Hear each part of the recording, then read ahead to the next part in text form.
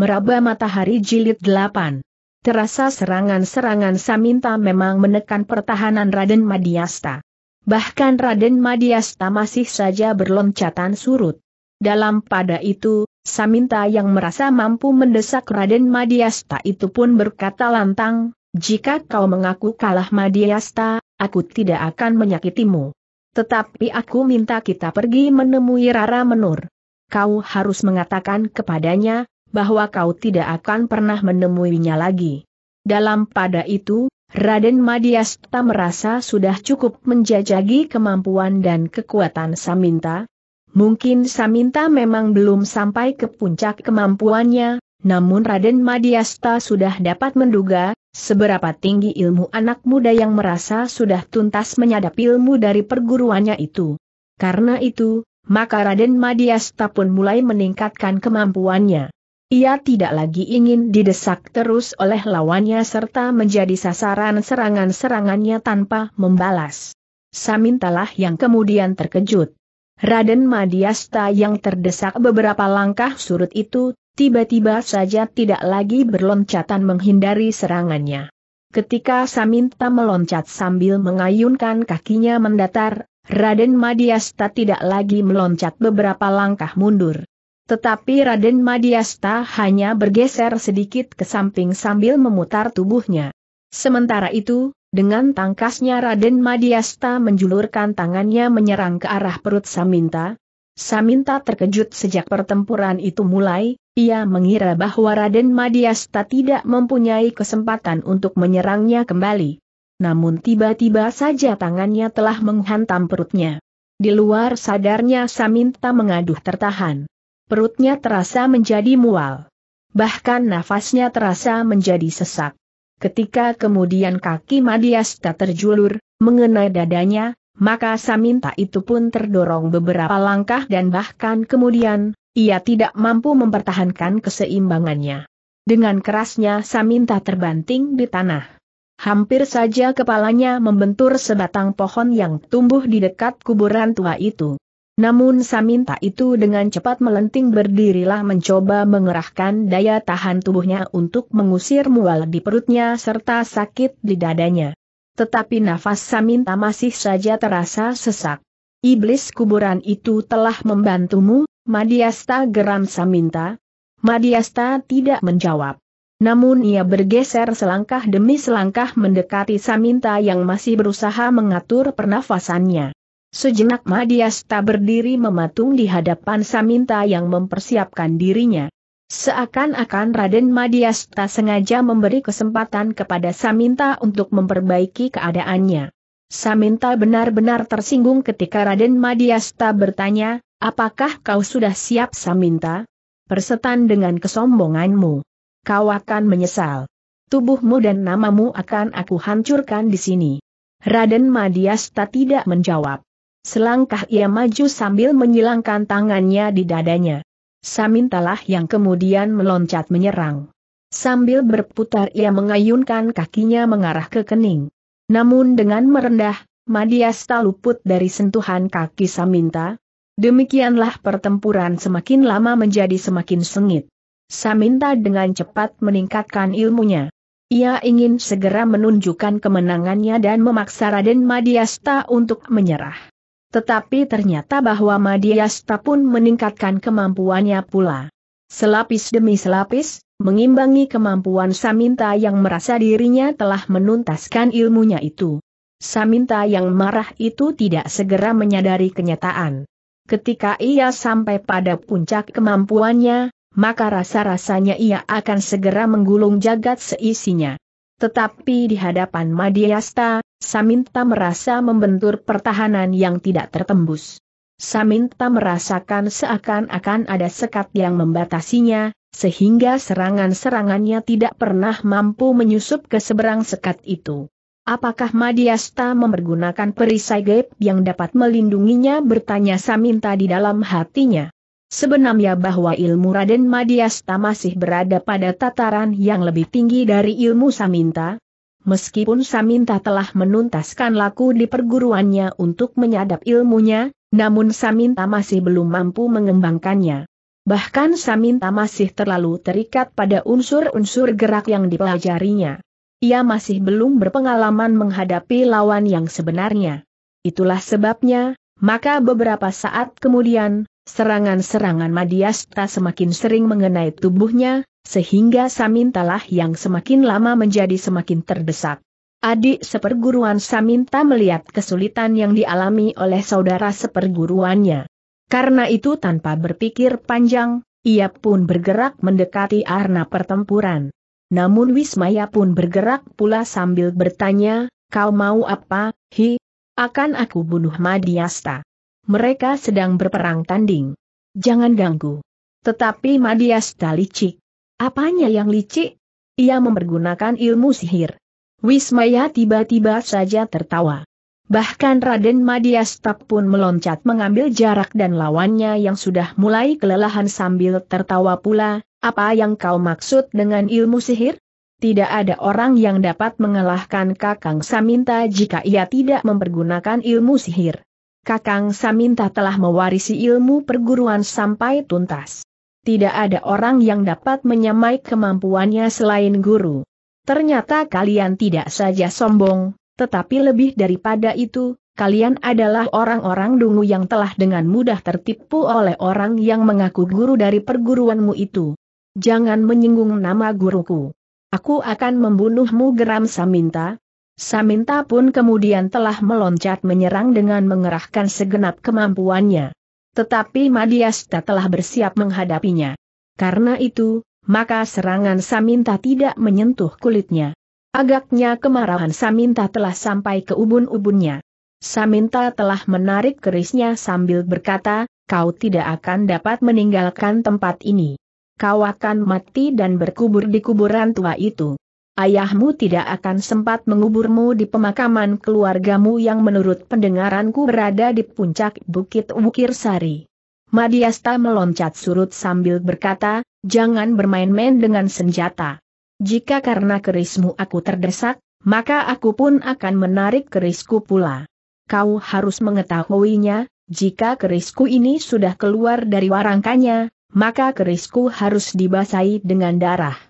Apakah sejak kau meninggalkan Panjer, kau sudah berniat untuk membunuhku? Jika kau menyerah dan bersedia menemui Rara Menur dan mengatakan bahwa kau tidak akan pernah datang lagi kepadanya setelah aku pulang ke Panjer, maka aku tidak akan membunuhmu. Jika aku tidak mau, aku akan membunuhmu.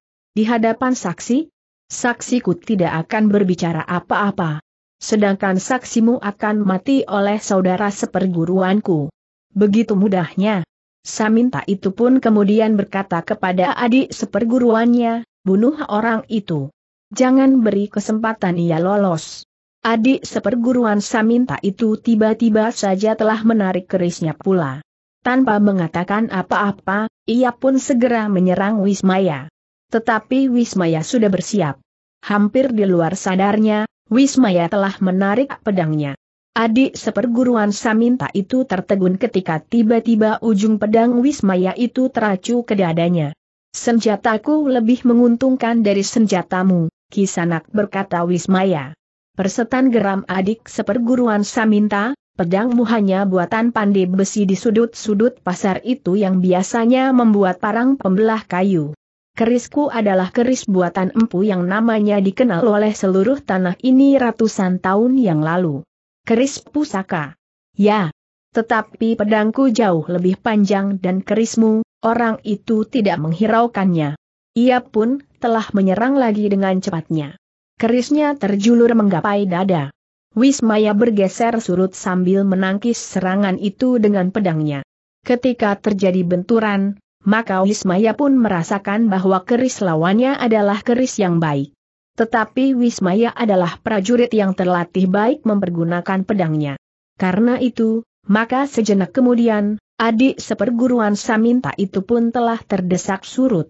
Sementara itu, Saminta pun telah mengerahkan kemampuannya pula. Kerisnya berputar mengerikan. Keris yang bagaikan membara itu, sekali-sekali terayun menyambar ke arah lambung. Kemudian terjulur lurus mematuk dada namun kemudian menebas ke arah leher. Madiasta memang terdesak. Karena itu, maka ketika Saminta menyerangnya bagaikan angin pusaran, maka Raden Madiasta pun telah mencabut kerisnya pula. Ternyata keris Raden Madiasta telah menggetarkan dada Saminta pula. Namun kemarahan Saminta telah mencengkam jantung sehingga ia tidak sempat berpikir bening. Meskipun kemudian serangan Saminta itu datang beruntun seperti gelombang ombak lautan yang ditempa prahara, namun ujung kerisnya sama sekali tidak sempat menyentuh tubuh Raden Madiasta.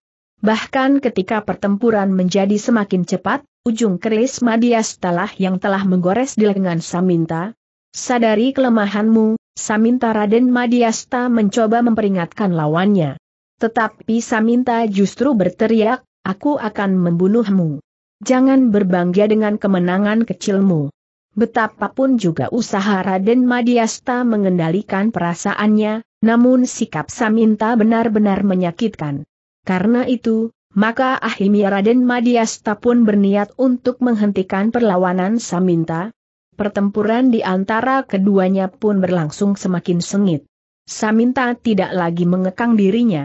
Dengan mengerahkan segenap kemampuannya, Saminta berusaha untuk benar-benar membunuh Raden Madiasta. Namun kemampuan Raden Madiasta memang lebih tinggi. Karena itu, maka justru keris Raden Madiasta lah yang beberapa kali telah menyentuh tubuh Saminta. Ketika Saminta meloncat sambil menjulurkan kerisnya mengarah ke jantung Raden Madiasta, maka Raden Madiasta masih sempat bergeser ke samping sambil memiringkan tubuhnya. Sebenarnya lah bahwa Raden Madiasta mendapat kesempatan untuk menghunjamkan kerisnya di lambung Saminta, tetapi ketika keris itu menyentuh pakaian dan tembus menggores kulit, Raden Madiasta masih sempat menahan diri. Namun Saminta pun kemudian telah meloncat beberapa langkah surut untuk mengambil jarak. Tetapi Saminta masih tidak melihat kenyataan itu. Bahkan ia merasa bahwa ia masih berhasil menghindar dari ujung keris Raden Madiasta. Saminta berkata Raden Madiasta kemudian, jangan paksa aku membunuhmu. Pergilah. Jangan ganggu lagi Rara Menur. Saminta justru menggeretakkan giginya. Dengan garangnya ia meloncat menyerang. Kerisnya terayun mendatar menebas ke arah perut. Gila kau Saminta geram Raden Madiasta. Raden Madiasta itu pun bergeser selangkah surut. Keris itu terayun dengan derasnya. Ujungnya hanya berjarak setebal daun dari perut Raden Madiasta. Bahkan baju Raden Madiasta telah terkoyak secengkang. Namun demikian Raden Madiasta berdiri mapan, tiba-tiba saja ia melenting.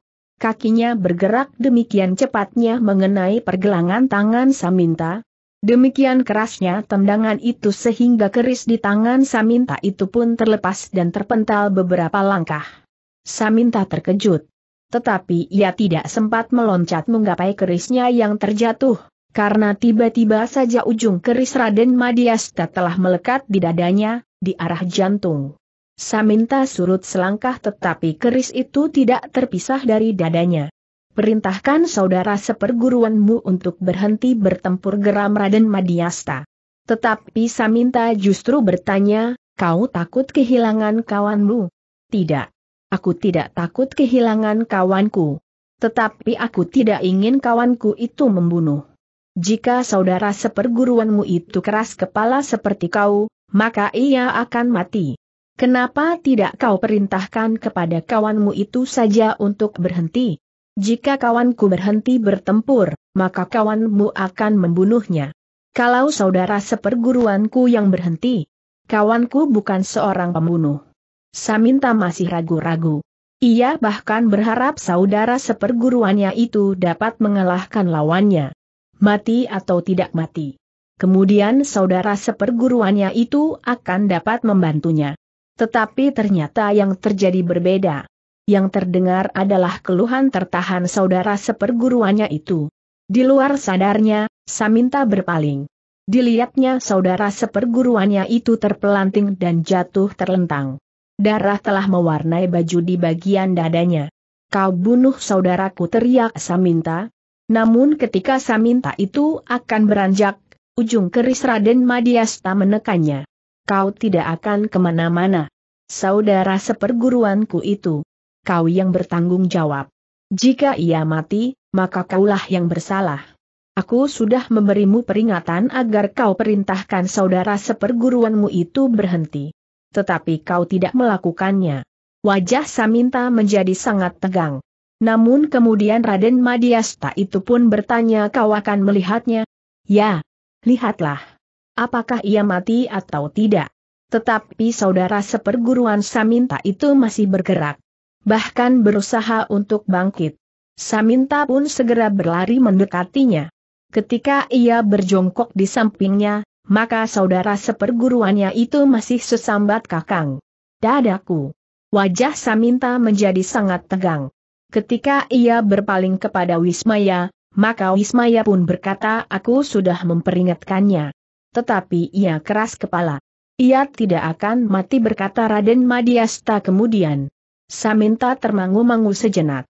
Darah masih mengalir dari tubuh saudara seperguruannya itu, Sementara tubuhnya sendiri juga telah bernoda darah oleh goresan keris Raden Madiasta di beberapa tempat namun luka di dada adik seperguruannya itu agak dalam. Raden Madiasta telah mengambil sebuah bumbung kecil dari kantung ikat pinggangnya diberikannya bumbung kecil itu kepada Saminta sambil berdesis, obati luka adik seperguruanmu itu serta lukamu sendiri. Saminta memandang Raden Madiasta dengan ragu-ragu. Aku tidak akan meracuni kalian berdua jika aku ingin membunuh, maka aku akan membunuh. Seakan-akan di luar sadarnya, Saminta telah mengulurkan tangannya untuk menerima bumbung kecil yang berisi serbuk obat itu. Saminta berkata Raden Madiasta kemudian, aku masih ingin bertanya kepadamu, apakah kita akan melanjutkan perkelahian ini atau tidak? Jika kau masih ingin melanjutkan perkelahian ini, maka aku tidak akan berkeberatan tetapi jika kita mulai lagi, maka perkelahian ini akan berakhir dengan buruk sekali. Salah seorang dari kita akan mati.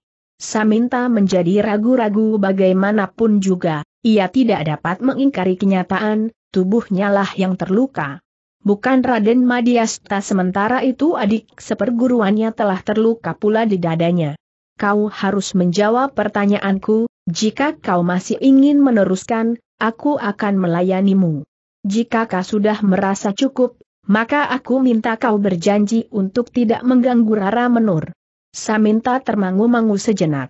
Ketahuilah Saminta berkata Raden Madiasta, kau agaknya memang sudah menyadap ilmu di perguruanmu sampai tuntas.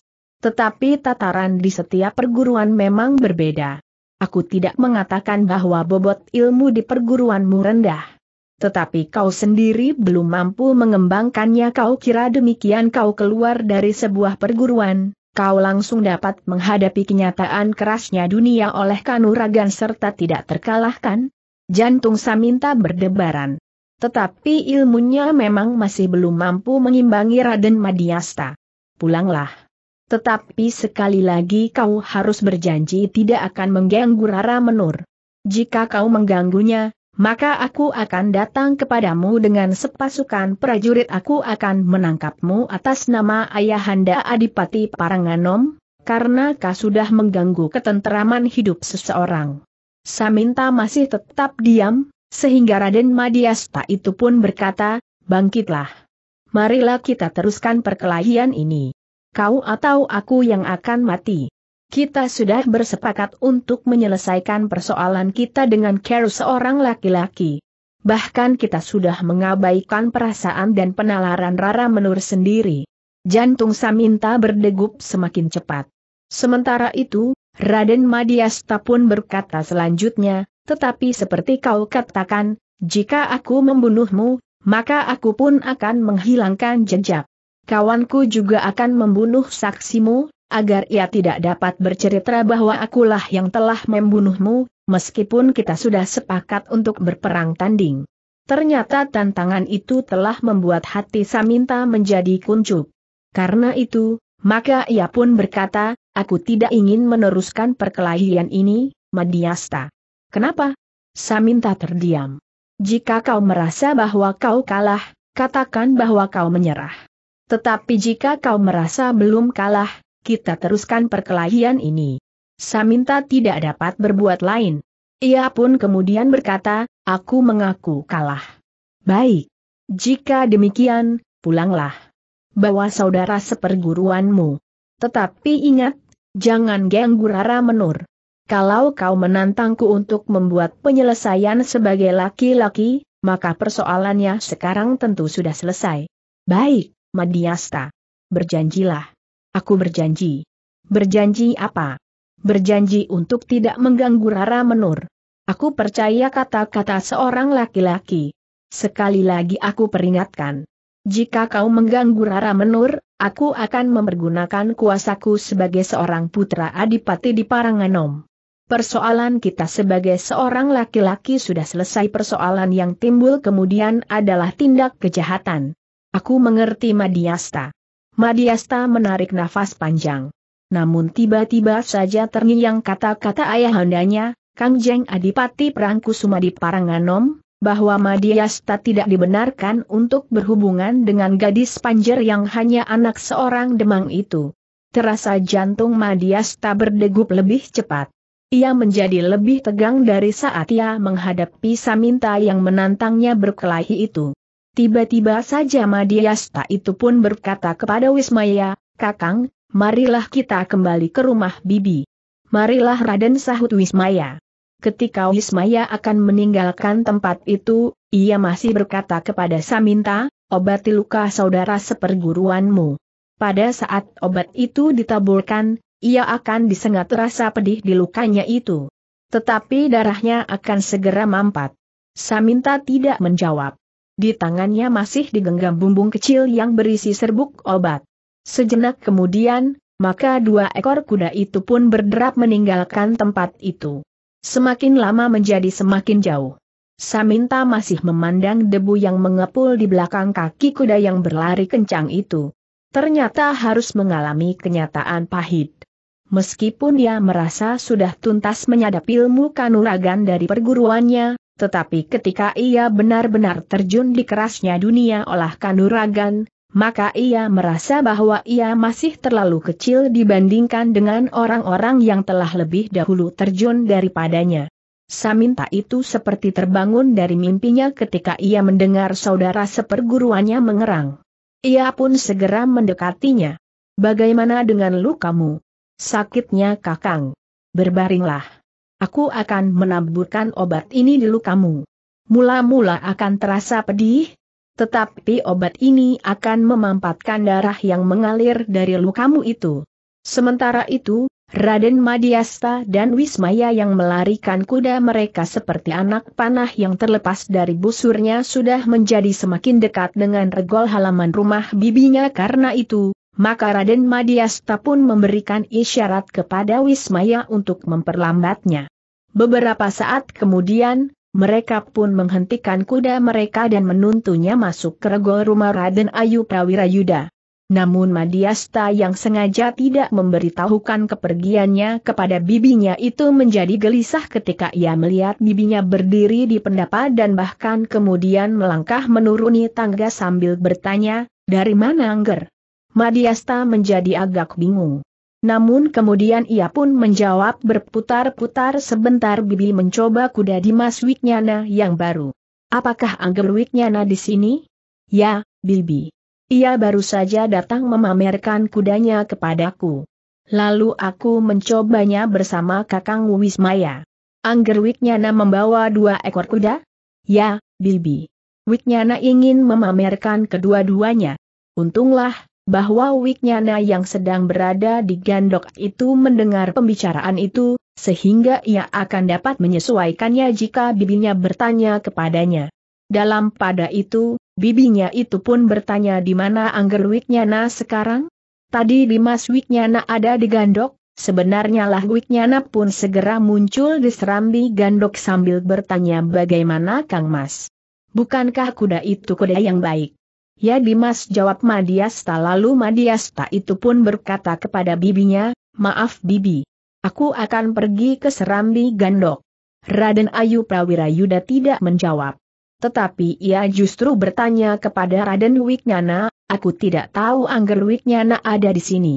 Aku belum lama bibi jawab Wiknyana, Aku hanya ingin menunjukkan kuda yang kemarin aku beli kepada Kakang Mas Madiasta, aku tidak ingin mengganggu Bibi. Baiklah, Ger. Silahkan. Aku akan pergi ke belakang. Silahkan Bibi sahut Wiknyana sambil mengangguk hormat. Sepeninggal bibinya Wismaya pun menambatkan kedua ekor kuda itu di sebatang pohon perdu di halaman. Apa yang sudah terjadi, Kang Mas bertanya Wiknyana demikian Madiasta duduk di serambi anak yang baru saja menyelesaikan laku di masa berguru. Demikian ia selesai dan tuntas, maka ia merasa bahwa tidak ada orang yang dapat mengimbangi kemampuannya agaknya anak itu sengaja mencari lawan untuk menunjukkan kemampuannya yang menurut pendapatnya tidak ada duanya di dunia selain gurunya. Apa yang Kang Mas lakukan terhadap orang itu? Aku memaksanya mengakui, bahwa ia bukan orang terbaik di dunia. Bahkan ilmunya itu tidak lebih dari sebutir pasir di luasnya pantai. Anak itu mengakuinya. Ia harus melihat kenyataan itu, Wiknyana tersenyum. Katanya, waktu kita pulang dari perguruan, rasa-rasanya ingin juga segera menunjukkan kelebihan kita kepada semua orang. Tetapi untunglah, bahwa guru telah membekali kita bukan saja kemampuan ilmu kanuragan, tetapi juga bekal pesan-pesan, bagaimana kita mengeterapkan kemampuan yang telah kita pelajari selama kita berguru. Ya, agaknya itulah yang dilupakan oleh guru Saminta. Semakin tinggi ilmu seseorang, tetapi tanpa dibekali pesan, untuk apa ilmu itu dimilikinya, maka akan dapat terjadi salah kedaden. Ilmu yang seharusnya bermanfaat bagi banyak orang itu, akan dapat menjadi sebaliknya ilmu itu akan dapat menjadi racun bagi banyak orang. Tetapi Kang Mas sudah meredamnya mudah-mudahan pengalamannya mengeterapkan ilmunya yang pertama kali itu akan menjadi pengalaman yang sangat berharga baginya. Mudah-mudahan, Dimas. Sementara itu, Wismaya yang tidak melihat Sasangka di serambi itu pun bertanya, di mana Sasangka Raden? Tadi aku melihat Sasangka sedang bercengkerama. Bercengkerama? Ya, dengan Kang Bok Rantam Sari. Tetapi sudah sejak tadi aku melihatnya, tidak lama setelah Kang Mas dan Kakang Wismaya pergi. Entahlah sekarang. Sejak aku melihatnya, Kakang Sasangka belum kembali ke Gandok. Mungkin ia tertidur di lincak di halaman belakang. Agaknya Kang Bok Rantam Sari sudah melantunkan tembang yang lembut. Wismaya menarik nafas panjang. Tetapi ia tidak menyahut lagi. Sedangkan Raden Madiasta nampak mengerutkan dahinya. Nampaknya pernyataan Wiknyana itu menyentuh hatinya, meskipun ia tidak mengatakan apa-apa. Namun dalam pada itu, sejenak kemudian, Wiknyana pun berkata, Kang Mas. Jika Kang Mas telah dapat menyelesaikan persoalan Kang Mas, izinkan aku pulang ke Kadipaten. Madiasta mengangguk-angguk katanya kemudian, baiklah Dimas. Aku mengucapkan terima kasih. Biarlah Kakang Wismaya mengantar Dimas pulang. Apakah aku harus diantar? Maksudku bukan mengantar Dimas yang ketakutan lewat bulak sempit di sebelah. Tetapi mengembalikan kuda yang satu itu, agar Dimas tidak usah harus menuntunnya. Wiknyana tertawa. Namun Wismaya pun kemudian mengingatkan, Apakah Raden tidak minta diri kepada Raden Ayu Prawirayuda yang telah melihat Raden berada di sini? Sebaiknya kau minta diri, Dimas. Baiklah, Kang Mas. Tetapi besok atau lusa Bibi tentu akan memberitahukan kepada Ayahanda, bahwa aku berada di sini tanpa menyatakan kehadiranku kepada Bibi. Jangan hiraukan itu. Wiknyana pun kemudian mencari bibinya di longkangan. Tetapi ternyata bibinya berada di geladri belakang. Rantam Sari yang juga berada di geladri, sedang sibuk membatik. Raden Ayu Prawirayuda yang melihat kehadiran Wiknyana di geladri segera bangkit berdiri sambil mempersilahkannya marilah nger. Aku hanya akan mohon diri, Bibi. Begitu tergesa-gesa. Baru disiapkan minuman bagi Angger. Jika saja aku tahu Angger sudah sejak tadi berada di gandok. Terima kasih Bibi. Seperti aku katakan, aku hanya ingin memamerkan kudaku yang baru kepada Kang Mas Madiasta. Aku tidak sabar menunggu Kang Mas Madiasta datang di Kadipaten. Baiklah Nger. Salamku kepada Dimas Adipati Prangkusuma. Dada Raden Wiknyana menjadi berdebar-debar. Agaknya bibinya dapat mempermasalahkan kehadirannya tanpa menyatakan diri kepada bibinya itu jika bibinya bertemu dengan ayahandanya. Tetapi apa boleh buat, ia sudah melakukannya. Karena itu, maka Raden Wiknyana itu pun menjawab, baik, bibi aku akan menyampaikannya kepada ayahanda lalu katanya kepada Rantam Sari yang meletakkan cantingnya dan bangkit berdiri pula, aku minta diri Kang Bok. Aku belum sempat menemuimu Dimas. Hampir saja Wiknyana mengatakan, bahwa ia tidak ingin mengganggu Rantam Sari yang sedang bercengkerama dengan Sasangka, seorang senapati muda yang bertugas di rumah itu. Tetapi niatnya diurungkan. Ia tidak ingin menimbulkan persoalan di rumah itu. Kapan-kapan aku akan berkunjung kemari. Bukan saja saat Tayahanda memberikan perintah kepadaku untuk datang kemari. Tetapi aku akan menyisihkan waktuku untuk berada di sini sehari penuh. Tentu saja jika tidak mengganggu Kang Bok. Kenapa menggangguku bertanya Rantam Sari, aku senang jika Dimas berkenan berada di sini sehari penuh. Wiknyana mengangguk hormat. Katanya, terima kasih. Pada kesempatan lain aku akan datang. Demikianlah, maka sejenak kemudian, Wiknyana pun telah meninggalkan rumah Raden Ayu Prawirayuda. Seperti yang dikatakan oleh Madiasta, maka Wismaya telah pergi bersamanya untuk mengembalikan kuda yang dibawanya. Sementara itu, Madiasta yang letih, duduk di serambi gandok. Sasangka agaknya masih di belakang. Tetapi Madiasta tidak mencarinya. Sebenarnya lah Sasangka masih berada di halaman belakang, Ketika Rantam Sari dipanggil oleh ibunya, maka Sasangka rasa-rasanya segan untuk meninggalkan tempatnya. Karena itu untuk beberapa saat ia masih duduk di tempatnya itu. Bahkan rasa-rasanya Sasangka masih mengharap agar Raden Ajeng Rantam Sari kembali menemuinya. Tetapi Raden Ajeng Rantam Sari kemudian tetap berada di Gladri karena ibunya minta ia meneruskan membatik kain yang sudah dimulainya. Jika tidak kau kerjakan, maka kain itu tidak akan selesai berkata ibunya. Sebenarnya lah bahwa Raden Ajeng Rantam Sari memang ingin kembali ke halaman belakang. Tetapi ia merasa segan terhadap ibunya. Karena itu, maka akhirnya Raden Ajeng Rantam Sari duduk saja di belakang gawangan batiknya. Baru beberapa saat kemudian, Sasangka melangkah dengan segan menuju ke gandok. Baru ketika ia melihat Raden Madiasta sudah duduk di serambi, Sasangka itu dengan tergesa-gesa mendapatkannya. Aku tidak tahu, bahwa Raden sudah kembali berkata Sasangka sambil duduk di sebelah Raden Madiasta. Kakang berada di halaman belakang bertanya Madiasta. Ya, Raden. Aku masih saja cemas, bahwa Raden Wicitra tiba-tiba saja muncul.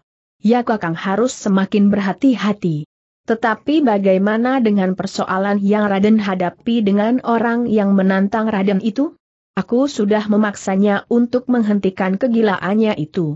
Nampaknya ia tidak lebih dari seorang anak yang merasa dirinya tidak terkalahkan setelah menyelesaikan laku di perguruannya.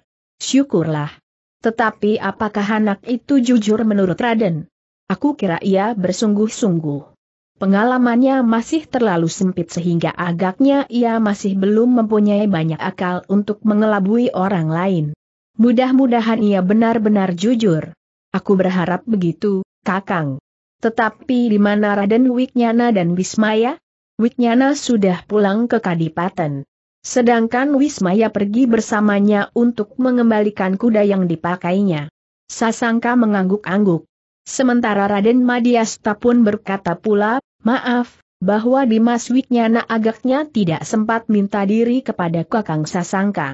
Tidak apa Raden. Mungkin Raden Wismaya agak tergesa-gesa dan bukankah Raden Madiasta sendiri dan Wismaya tidak mengalami sesuatu? Maksudku, Raden dan Wismaya baik-baik saja? Ya, kami baik-baik saja mudah-mudahan anak itu tidak menimbulkan masalah lagi di belakang hari. Mudah-mudahan ia tidak mengganggu Rara Menur sebagaimana dijanjikannya. Sasangka termangu-mangu sejenak. Namun hampir di luar sadarnya ia pun bertanya, tetapi bagaimana dengan sikap Kang Jeng Adipati? Wajah Raden Madiasta menegang sejenak. Namun kemudian sambil menarik nafas panjang ia pun berkata, entahlah. Aku belum dapat membayangkan, apa yang akan terjadi kemudian. Sejenak kemudian, maka Raden Madiasta pun pergi ke Pakiwan. Di serambi gandok, Sasangka duduk berangan-angan.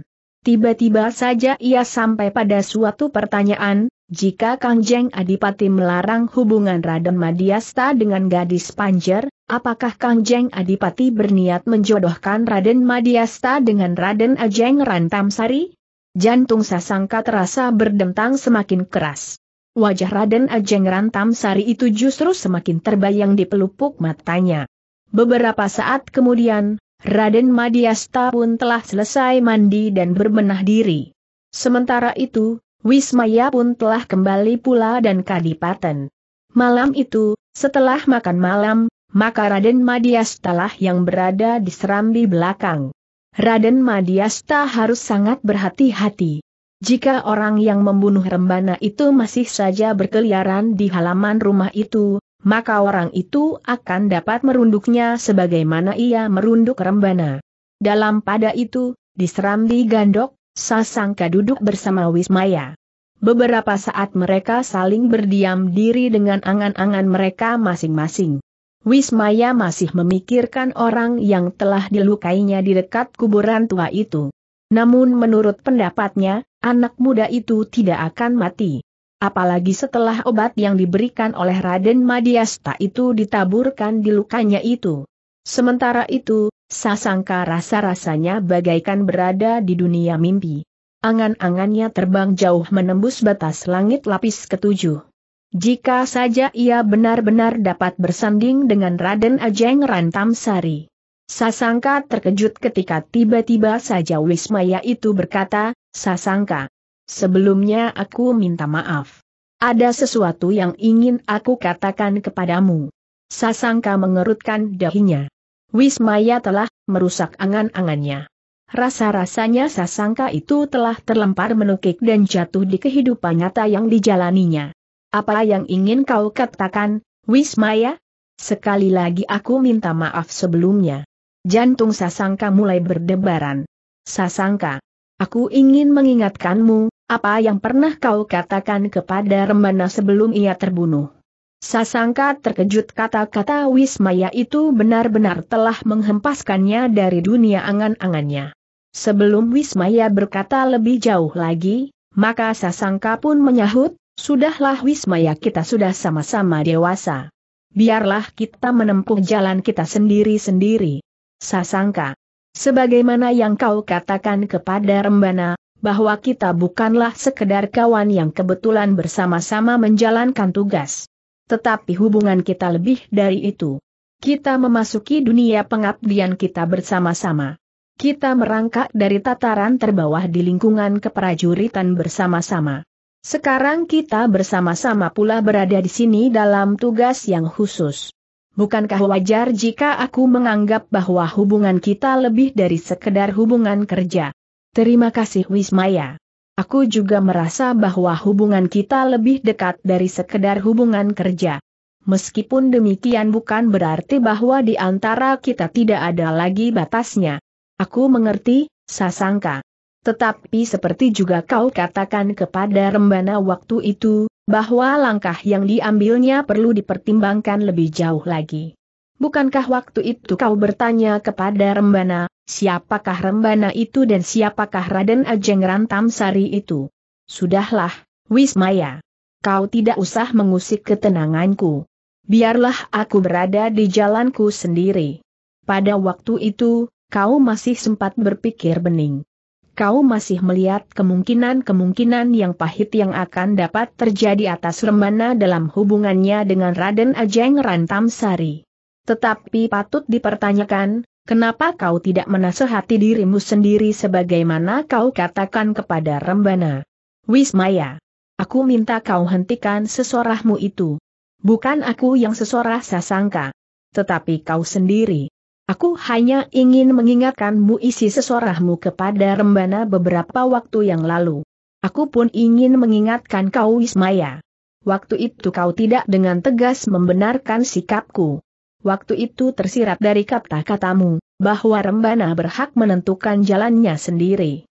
Nah, sekarang aku pun akan berkata sebagaimana tersirat dari kata-katamu waktu itu.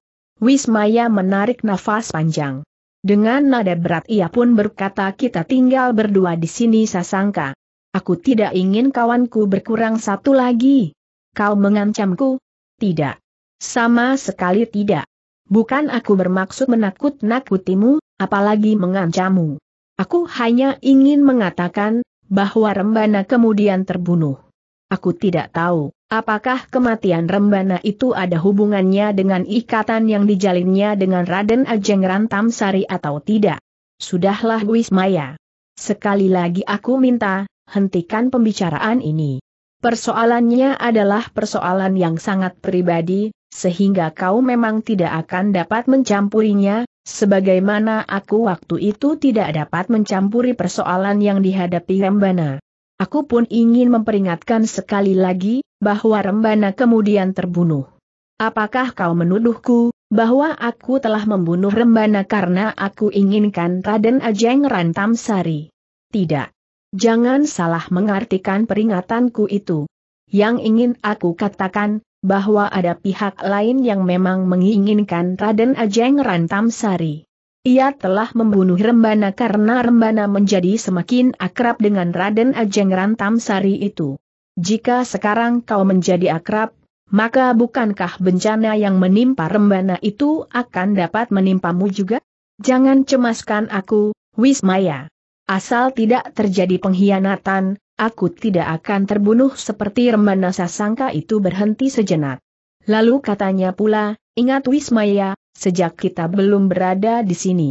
Sejak belum ada seorang pun yang berhubungan dengan Raden Ajeng Rantam Sari, rumah ini sudah menjadi sasaran laku kejahatan. Justru karena itulah maka kita berada di sini. Wismaya menarik nafas panjang. Dengan nada berat ia pun berkata, aku sudah mencoba memperingatkanmu sangka seandainya kau tidak akan mengalami nasib seperti Rembana, mungkin yang kau cemaskan akan terjadi pada Rembana waktu itu dapat juga terjadi atasmu. Apa maksudmu?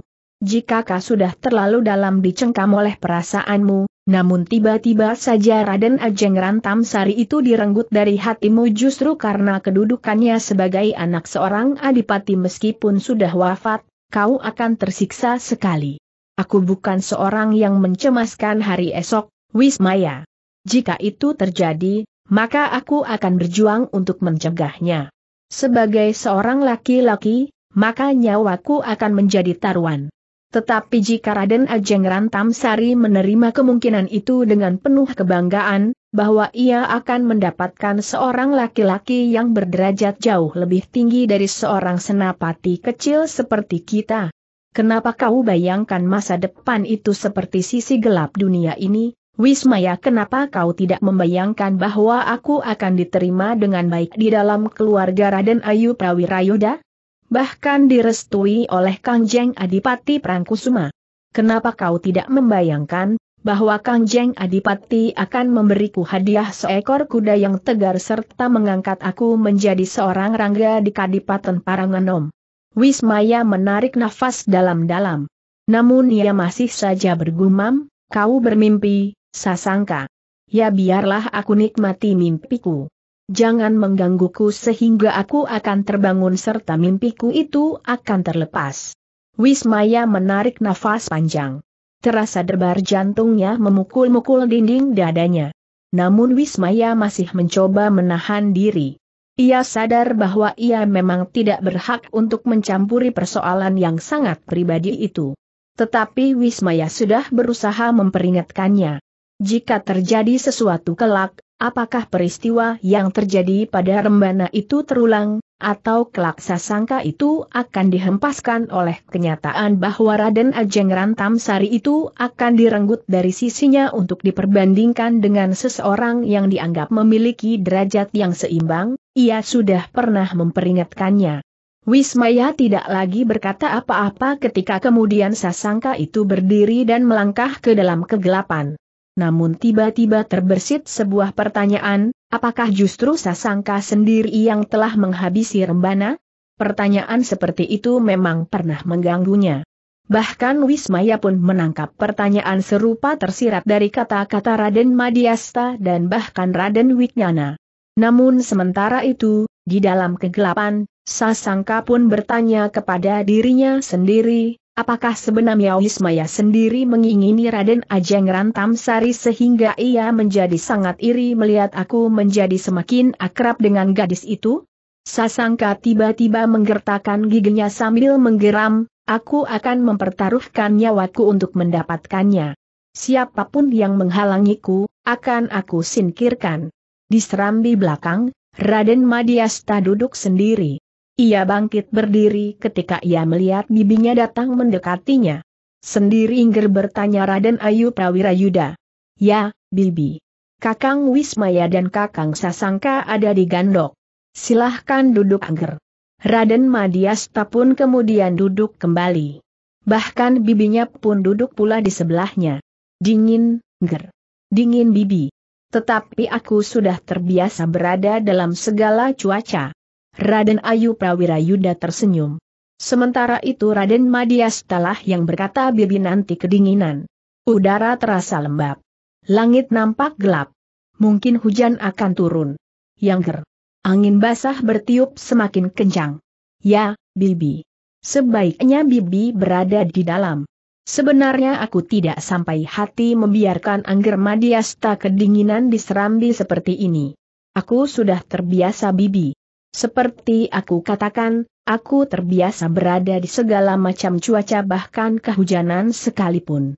Di padepokan aku membiasakan diri berada di dinginnya malam, basah kuyup kehujanan, tetapi juga dipanggang di teriknya sinar matahari. Menahan haus dan lapar.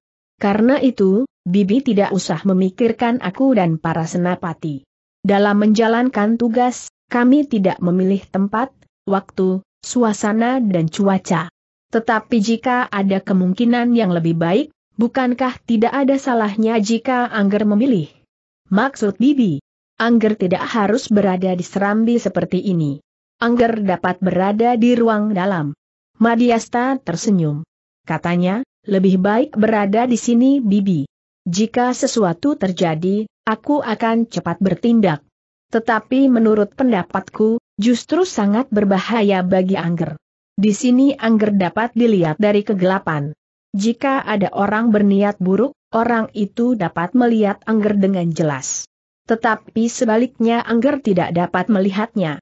Aku tidak akan berada di sini terus Bibi. Aku akan turun pula ke halaman. Tetapi bukankah sangat berbahaya bagi Angger? Angger Rembana telah terbunuh tanpa sempat memberikan perlawanan. Petaka itu memang telah terjadi padanya desis Raden Madiasta, namun dengan demikian, aku akan menjadi lebih berhati-hati, Bibi. Raden, apakah salahnya jika Raden berada di dalam? Jika ada orang bermaksud jahat, sebagaimana yang pernah mereka lakukan, membunuh seekor kucing untuk menakut-nakuti kami, bukankah mereka akan masuk ke dalam? Jika mereka berada di luar, bukankah kita dapat mengabaikannya? Bibi. Aku adalah bagian dari para prajurit yang ditugaskan oleh ayahanda di rumah ini. Karena itu, maka aku tidak dapat dipisahkan dari mereka. Angger adalah putra Kang Jeng Adipati di Parang Anom yang bahkan akan menggantikan kedudukan ayahandanya. Sedangkan mereka adalah prajurit sebagaimana prajurit-prajurit yang lain. Aku sebagai seorang prajurit, tidak berbeda dengan mereka, Bibi. Raden Ayu Prawirayuda menarik nafas panjang. Katanya, Angger memang seorang prajurit sejati. Aku adalah satu di antara prajurit Paranganom. Raden Ayu Prawirayuda mengangguk-angguk. Namun kemudian Raden Ayu itu pun berkata, Ger. Mumpung ada waktu luang, aku ingin bertanya, apakah Dimas Adipati masih marah kepada Raden? Raden Madiasta menarik nafas panjang. Dengan nada rendah ia pun menjawab, tidak bibi. Ayahanda tidak marah lagi kepadaku. Apakah dengan demikian berarti Dimas Adipati membiarkan hubungan Angger Madiasta dengan gadis panjer itu? Kami belum pernah membicarakannya lagi, Bibi. Raden Ayu Prawira Yuda mengangguk-angguk. Katanya, Ger. Bagaimanapun juga sebaiknya Angger mendengarkan nasihat orang tua. Sekaligus seorang adipati yang memegang kuasa di kadipaten ini. Jika Angger menentangnya, maka akibatnya akan dapat menjadi jauh sekali. Raden Madiasta menundukkan wajahnya. Aku adalah bibimu, Ger. Aku merasa berkewajiban untuk memberi nasihat kepada Angger Madiasta apalagi persoalan sisihan adalah persoalan yang sangat rumit. Ya, Bibi jawab Madiasta. Angger adalah seorang anak muda yang tampan putra seorang adipati yang sekaligus akan menggantikan kedudukannya. Karena itu, maka Angger pun harus berhati-hati memilih sisihan gadis panjer itu mungkin memang sangat menarik perhatian Angger. Mungkin ia cantik dan lembut tetapi gadis itu tidak lebih dari anak seorang demang. Jika Angger kehendaki, Angger dapat mengambilnya menjadi garwa ampian. Terasa degup jantung Raden Madiasta menjadi semakin cepat sebenarnya ia tidak ingin mendengar nasihat bibinya itu. Tetapi ia tidak dapat memaksa agar bibinya itu berhenti berbicara. Untuk beberapa saat Raden Ayu Prawirayuda itu masih menasehatinya. Raden Ayu itu memberi beberapa petunjuk tentang hubungan suami istri. Tentang cinta dan sekedar nafsu. Raden Madiasta hanya dapat mengangguk-angguk saja. Sekali-sekali ia mengiyakannya. Dengan demikian Raden Madiasta berharap agar bibinya itu segera berhenti berbicara. Setelah beberapa lama Raden Ayu Prawira Yuda itu duduk di serambi belakang bersama Raden Madiasta, maka kemudian Raden Ayu itu pun berkata, Semakin lama, malam terasa menjadi semakin dingin, ger. Bibi. Agaknya lebih baik bagi Bibi untuk masuk saja ke ruang dalam. Angin malam akan dapat berakibat buruk bagi Bibi. Raden Ayu Prawira Yuda tersenyum. Katanya, aku pun sudah sering menjalani laku prihatin, ger. Bahkan aku pernah tidur tiga malam di pasarian Eyang Kakung. Tetapi bukankah itu Bibi lakukan waktu Bibi masih muda? Raden Ayu Prawira Yuda itu masih saja tersenyum sambil berkata, aku sekarang memang sudah tuangger. Dengan serta-merta Raden Madiasta menyahut, bukan itu maksudku Bibi. Tetapi mungkin ketahanan tubuh Bibi sudah menyusut. Sebenarnya masih banyak yang ingin aku sampaikan kepada Angger. Justru karena aku Bibi Angger. Terima kasih, Bibi. Jika saja Angger bersedia duduk di ruang dalam. Rantam Sari akan menyediakan minuman hangat bagi Angger. Terima kasih, Bibi. Terima kasih biarlah Kang Bok Rantam Sari beristirahat. Raden Ayu Prawira Yuda itu pun kemudian bangkit berdiri. Dilayangkannya pandangan matanya ke kegelapan di halaman belakang. Sementara itu nyala lampu minyak di serambi itu bergoyang disentuh angin. Selamat malam Ger. Selamat malam, Bibi. Ketika Raden Ayu Prawira Yuda itu akan masuk ke ruang dalam, ia pun masih berdesis, kadang-kadang aku merasa bersalah, bahwa karena permohonanku, Angger harus berjaga-jaga di serambi dalam dinginnya udara malam. Raden Madiasta tertawa. Katanya, aku sudah ditempa untuk melakukan tugas seperti ini. Berhati-hatilah, Ger. Ya, Bibi. Sejenak kemudian, Raden Ayu Prawira Yuda itu pun telah hilang di balik pintu yang kemudian tertutup rapat. Raden Madiasta menarik nafas panjang. Ia pun kemudian duduk kembali di amben kayu di serambi di bawah cahaya lampu minyak.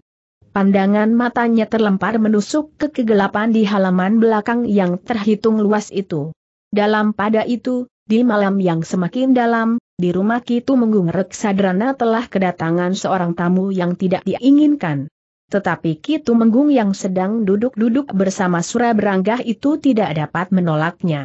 Marilah, duduklah Raden Wicitra. Terima kasih, Kitu Menggung.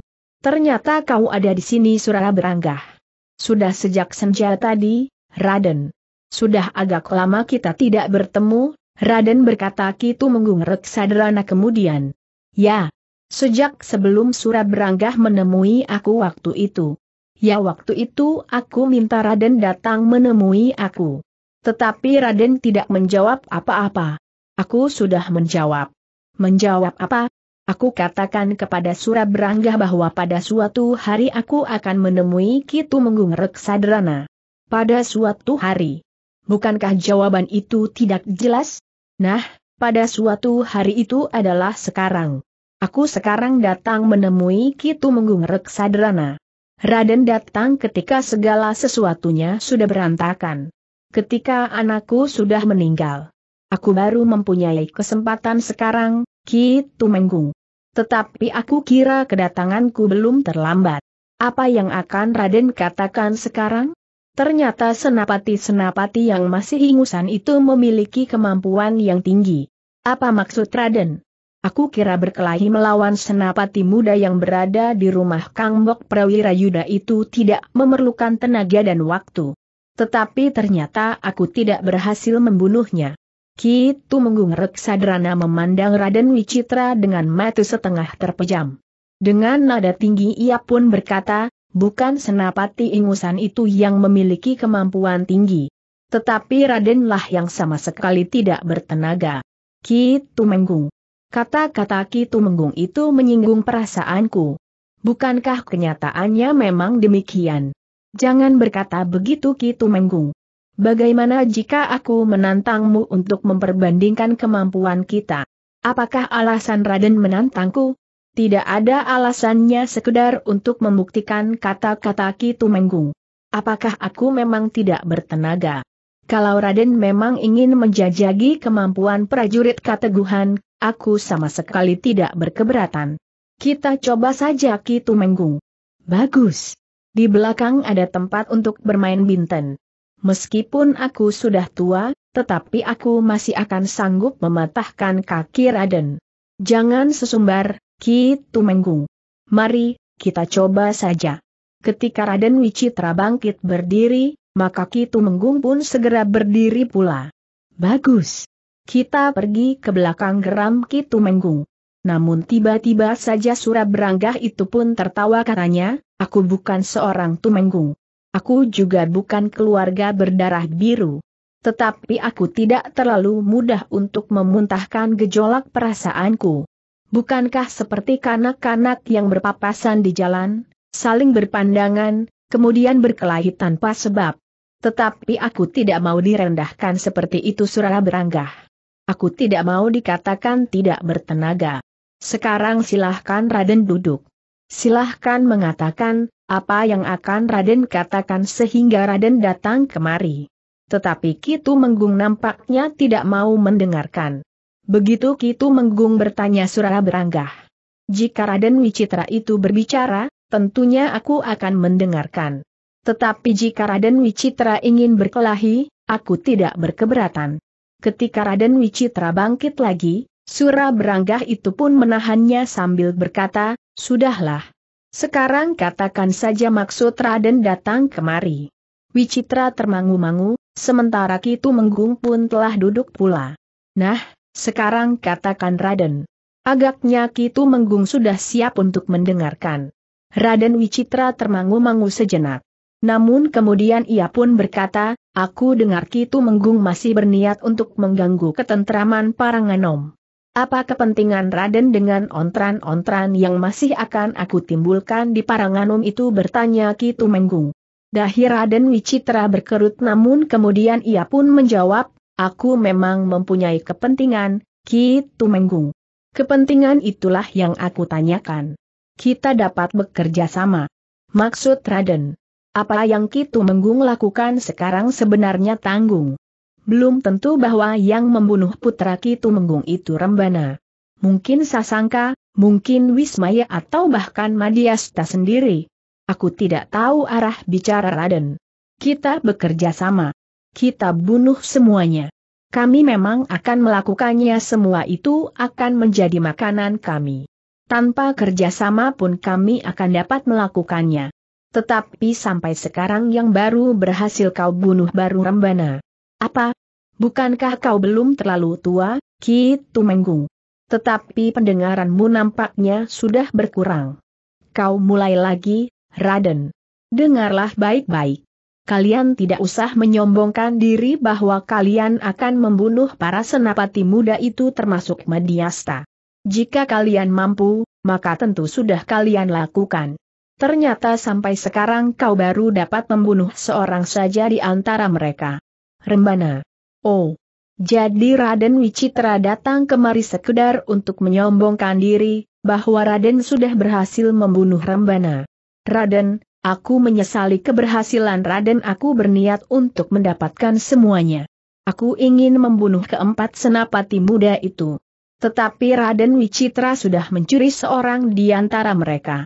Nanti dulu, Ki Tumenggung. Bukankah Ki Tumenggung, meskipun mungkin tidak dengan tangan sendiri, sudah berhasil membunuh Rembana? Sekarang aku menawarkan kerjasama untuk membunuh yang lain. Bahkan jika perlu, aku dapat memberikan imbalan kepada Suraberanggah dan kawan-kawannya yang mampu dihimpunnya lagi. Raden tidak usah berputar-putar seperti itu untuk menyombongkan diri. Katakan saja bahwa Raden sudah membunuh Rambana. Raden ingin pengakuanku bahwa Raden orang yang berilmu tinggi tanpa tanding karena dapat membunuh Senapati Ingusan itu. Sedangkan Senapati Ingusan itu ternyata berilmu tinggi. Kenapa kau terlalu berprasangka Kitu Menggung? Jika aku datang sekedar untuk menyombongkan diri, lalu apa gunanya? Apa keuntunganku dengan tindakan bodoh itu? Lalu apa maksud Raden sebenarnya? Sudah aku katakan berulang-ulang. Marilah bekerja sama membunuh para senapati yang tersisa itu. Kitu Menggung memandang Suraberanggah sejenak. Namun Suraberanggah itu menggelengkan kepalanya. Raden berkata Kitu Menggung, sebaiknya kita tidak usah bekerja sama. Lakukan apa yang ingin Raden lakukan. Aku lakukan apa yang ingin aku lakukan. Apakah keberatan Kitu Menggung? Bukankah kita mempunyai sasaran yang sama meskipun dasar kepentingan kita berbeda? Terus terang Raden, aku tidak percaya kepada Raden. Mungkin saja Raden dapat bekerja sama dengan kami untuk sesaat namun setelah itu Raden berkhianat. Raden memfitnah kami, sehingga kami ditangkap dan bahkan dihukum. Sedangkan Raden akan dapat menikmati hasilnya. Aku bukan jenis seorang pengkhianat. Sebaiknya kita bekerja sendiri-sendiri saja, Raden. Jika Raden ingin membunuh, bunuhlah jika mampu. Sementara itu, jika kami ingin melakukannya, biarlah kami melakukannya. Jadi Kitu Menggung tetap berkeberatan untuk bekerja sama meskipun aku sudah berjanji untuk menyediakan upah sekedarnya bagi Suraberanggah dan kelompoknya yang baru nanti? Ya, aku tetap berkeberatan. Raden berkata Ki Suraberanggah kemudian, kenapa Raden harus berpikir macam-macam? Tidur sajalah di rumah. Tanpa kerjasama pun sebenarnya akan tetap menguntungkan Raden. Raden tidur sajalah di rumah nanti para senapati itu akan mati sendiri karena tangan kami, sehingga Raden justru tidak kehilangan upah, tidak kehilangan waktu dan tidak diperlukan keberanian apa-apa. Edan Kasura beranggah. Aku ingin membunuh Sasangka dengan tanganku. Kenapa tidak Raden lakukan? Jika kita bekerja sama, kalian dapat menjerat para senapati yang lain dalam pertempuran. Nanti Raden kalah lagi nanti malah Raden yang mati. Aku sumbat mulutmu dengan tumitku ini surah beranggah.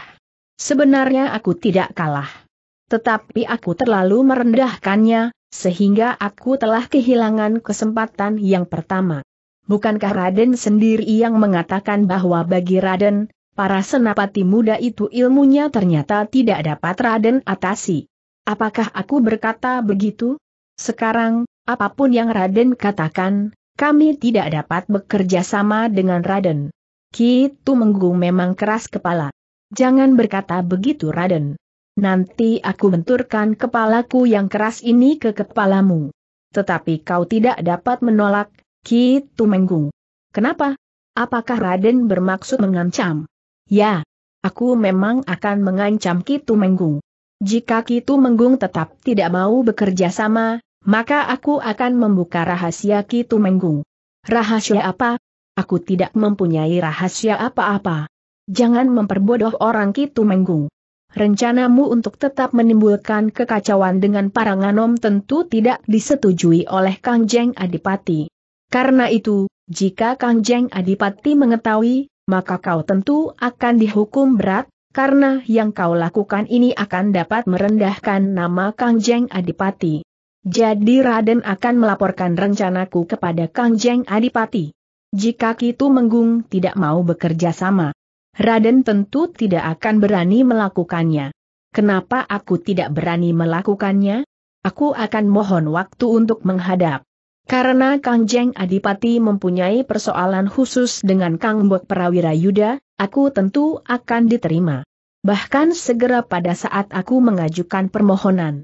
Kang Jeng Adipati tentu mengira bahwa persoalannya menyangkut Kang Mbok Prawira Yuda. Tetapi setelah aku menghadap, aku akan mengatakan bahwa ternyata Kitu Menggung Reksadrana tidak tunduk kepada perintah Kang Jeng Adipati. Ternyata Kitu Menggung masih tetap berusaha untuk membuat kericuhan di Paranganom. Nah, saat itu juga Kang Jeng Adipati akan memanggil Kitu Menggung. Jika Kitu Menggung menolak, maka Kitu Menggung akan ditangkap. Jika tidak ada prajurit yang berani menangkap Kitu Menggung, maka akulah yang akan mohon diperintahkan melakukannya dengan sekelompok prajurit pilihan. Ki Tumenggung akan diadili oleh Kang Jeng Adipati pribadi. Ki Tumenggung akan dihukum gantung di alun-alun. Atau setidak-tidaknya Ki Tumenggung akan dihukum kerja paksa seumur hidup.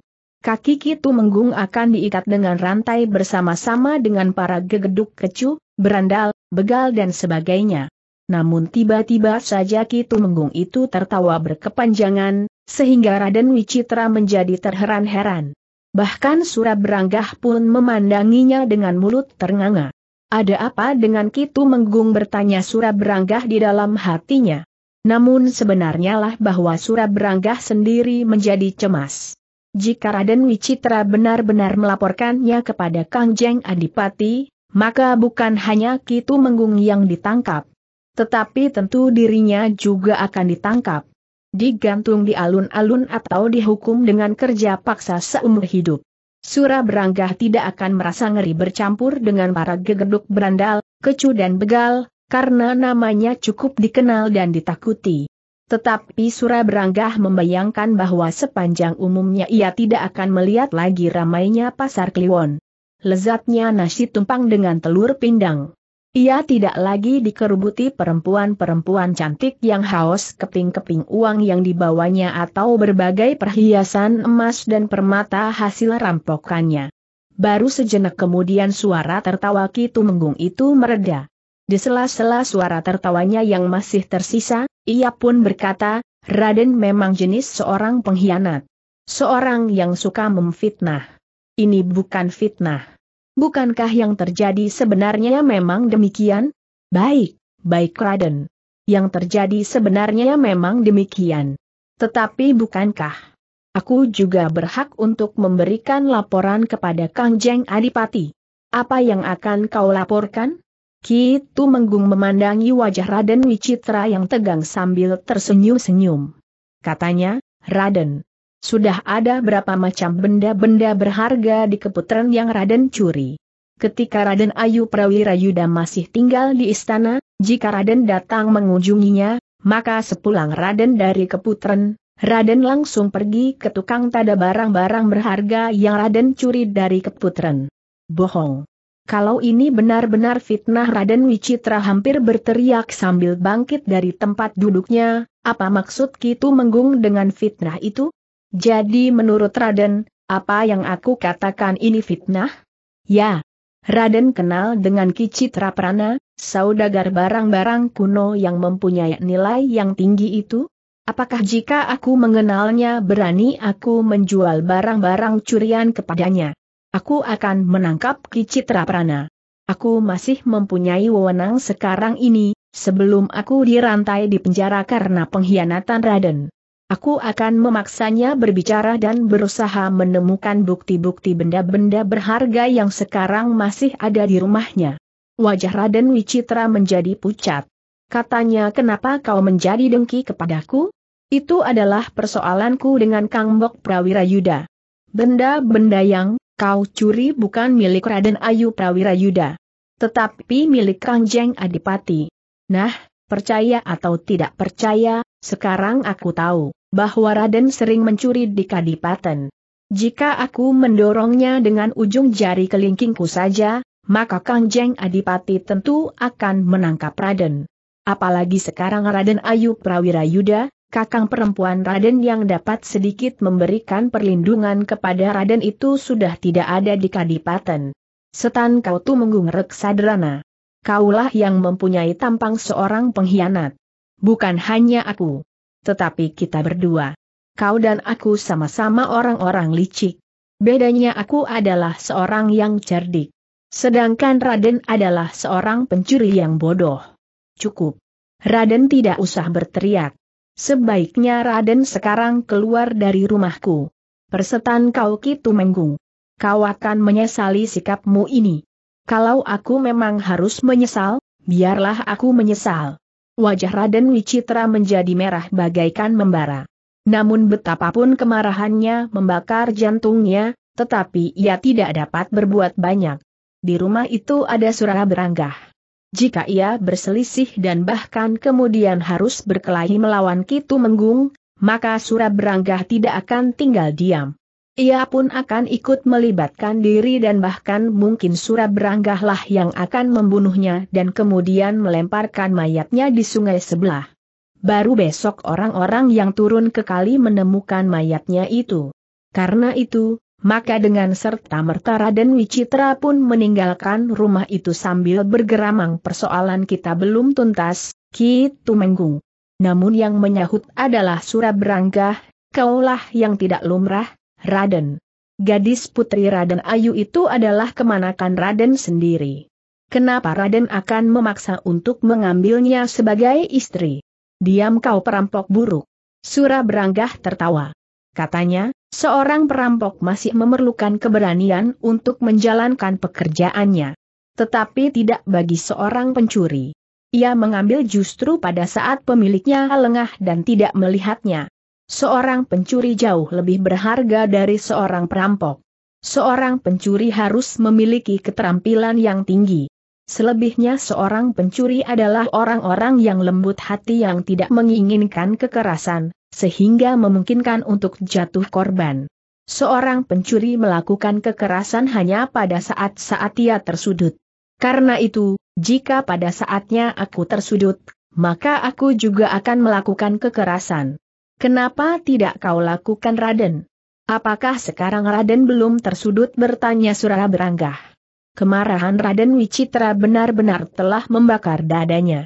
Tetapi Raden Wicitra tidak dapat mengingkari kenyataan, bahwa ia memang agak merasa ngeri karena di rumah itu ada Kitu Menggung Reksadrana serta Surara Beranggah. Karena itu, maka Raden Wicitra itu pun segera meninggalkan rumah itu. Ketika ia keluar dari pintu peringgitan, ia masih mendengar suara tertawa berkepanjangan. Agaknya Kitu Menggung Reksadrana dan Suraberanggah masih saja mentertawakannya. Raden Wicitra ternyata tidak mampu lagi menahan kemarahannya yang menggelegak. Karena itu, demikian ia turun ke halaman, maka ia pun segera meraih batu sebesar kepalan tangannya.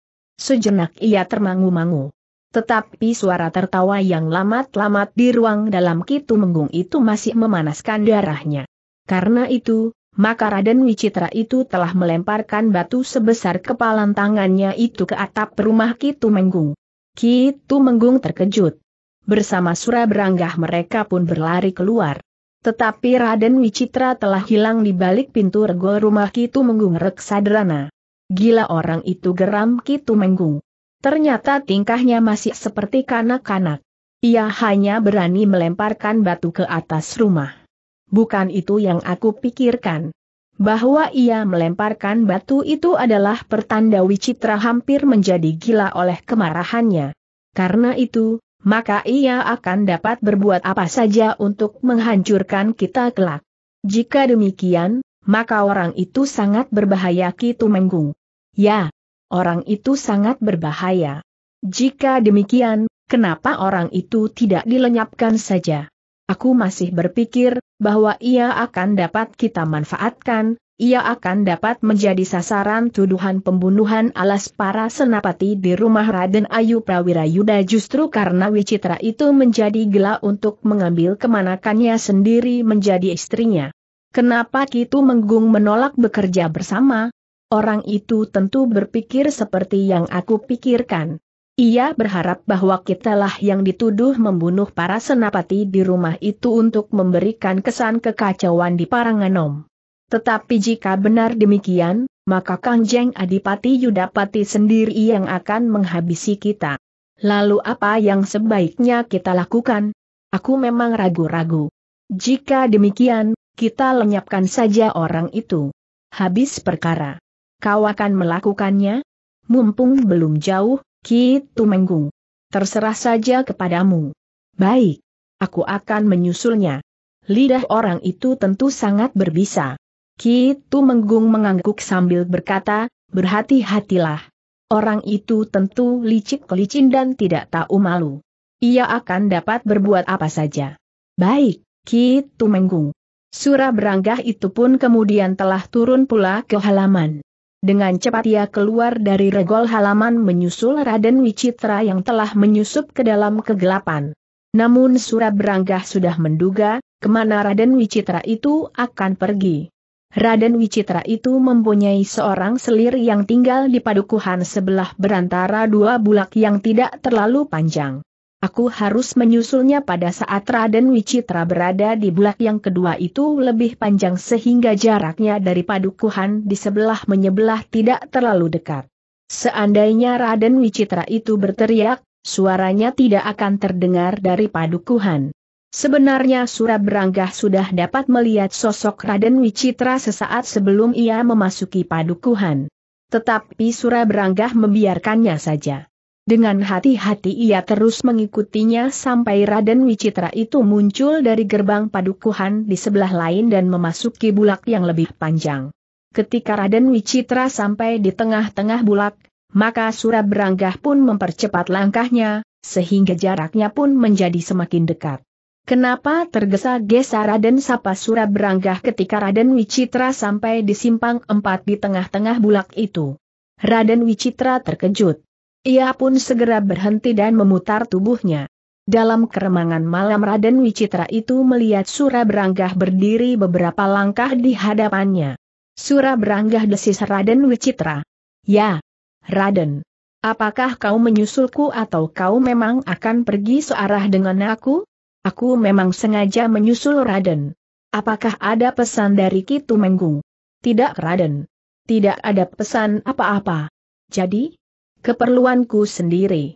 Keperluanmu sendiri? Ya. Keperluan apa?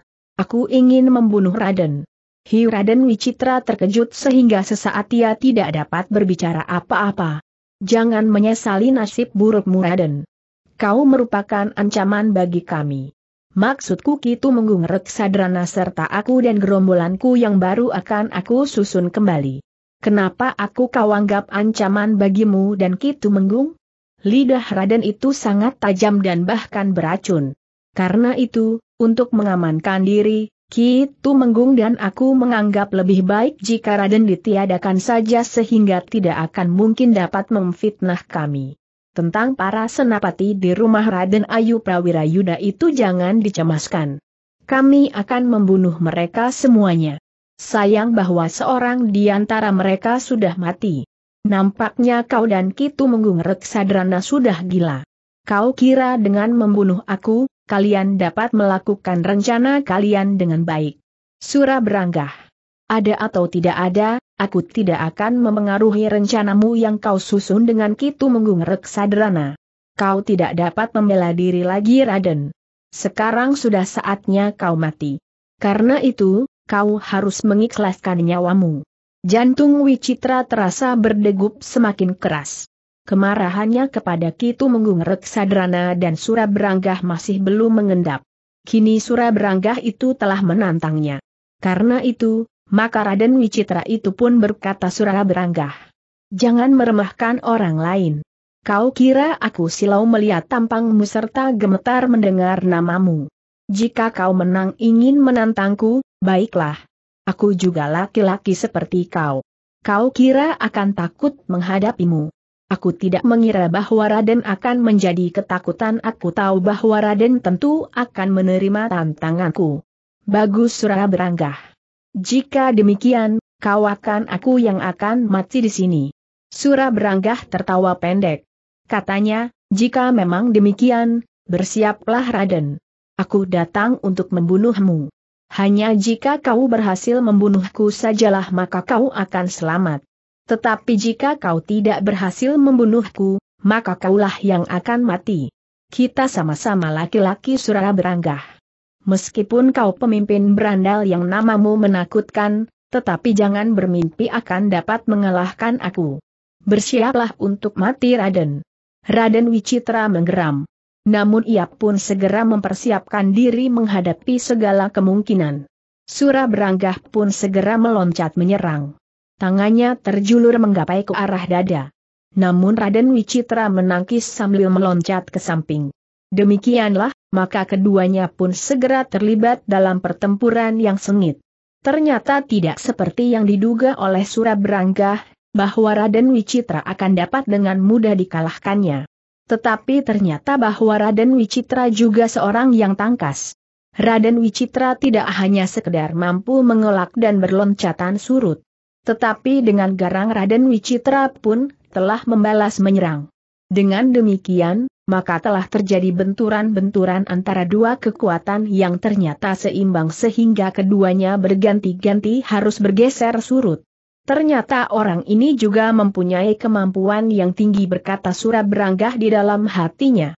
Sementara itu, Raden Wicitra pun harus mengakui kenyataan yang dihadapinya, bahwa Surab beranggah memiliki kekuatan yang besar serta ketahanan tubuh yang tinggi. Dengan demikian pertempuran ini semakin menjadi semakin seru. Keduanya saling menyerang dengan mengerahkan segenap tenaga dan kemampuan mereka.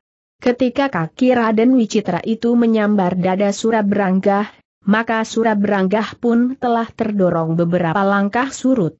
Dengan cepat Raden Wicitra memburunya. Dengan loncatan panjang, maka sekali lagi kaki Raden Wicitra terayun mendatar, justru menyambar kening Suraberanggah. Suraberanggah tidak mampu lagi mempertahankan keseimbangannya. Tubuhnya pun terlempar dan terguling jatuh menimpa tanggul parit. Tetapi dengan cepat Sura beranggah melenting bangkit. Ketika Raden Wicitra meloncat mendekatinya, Sura beranggahlah justru menyongsongnya.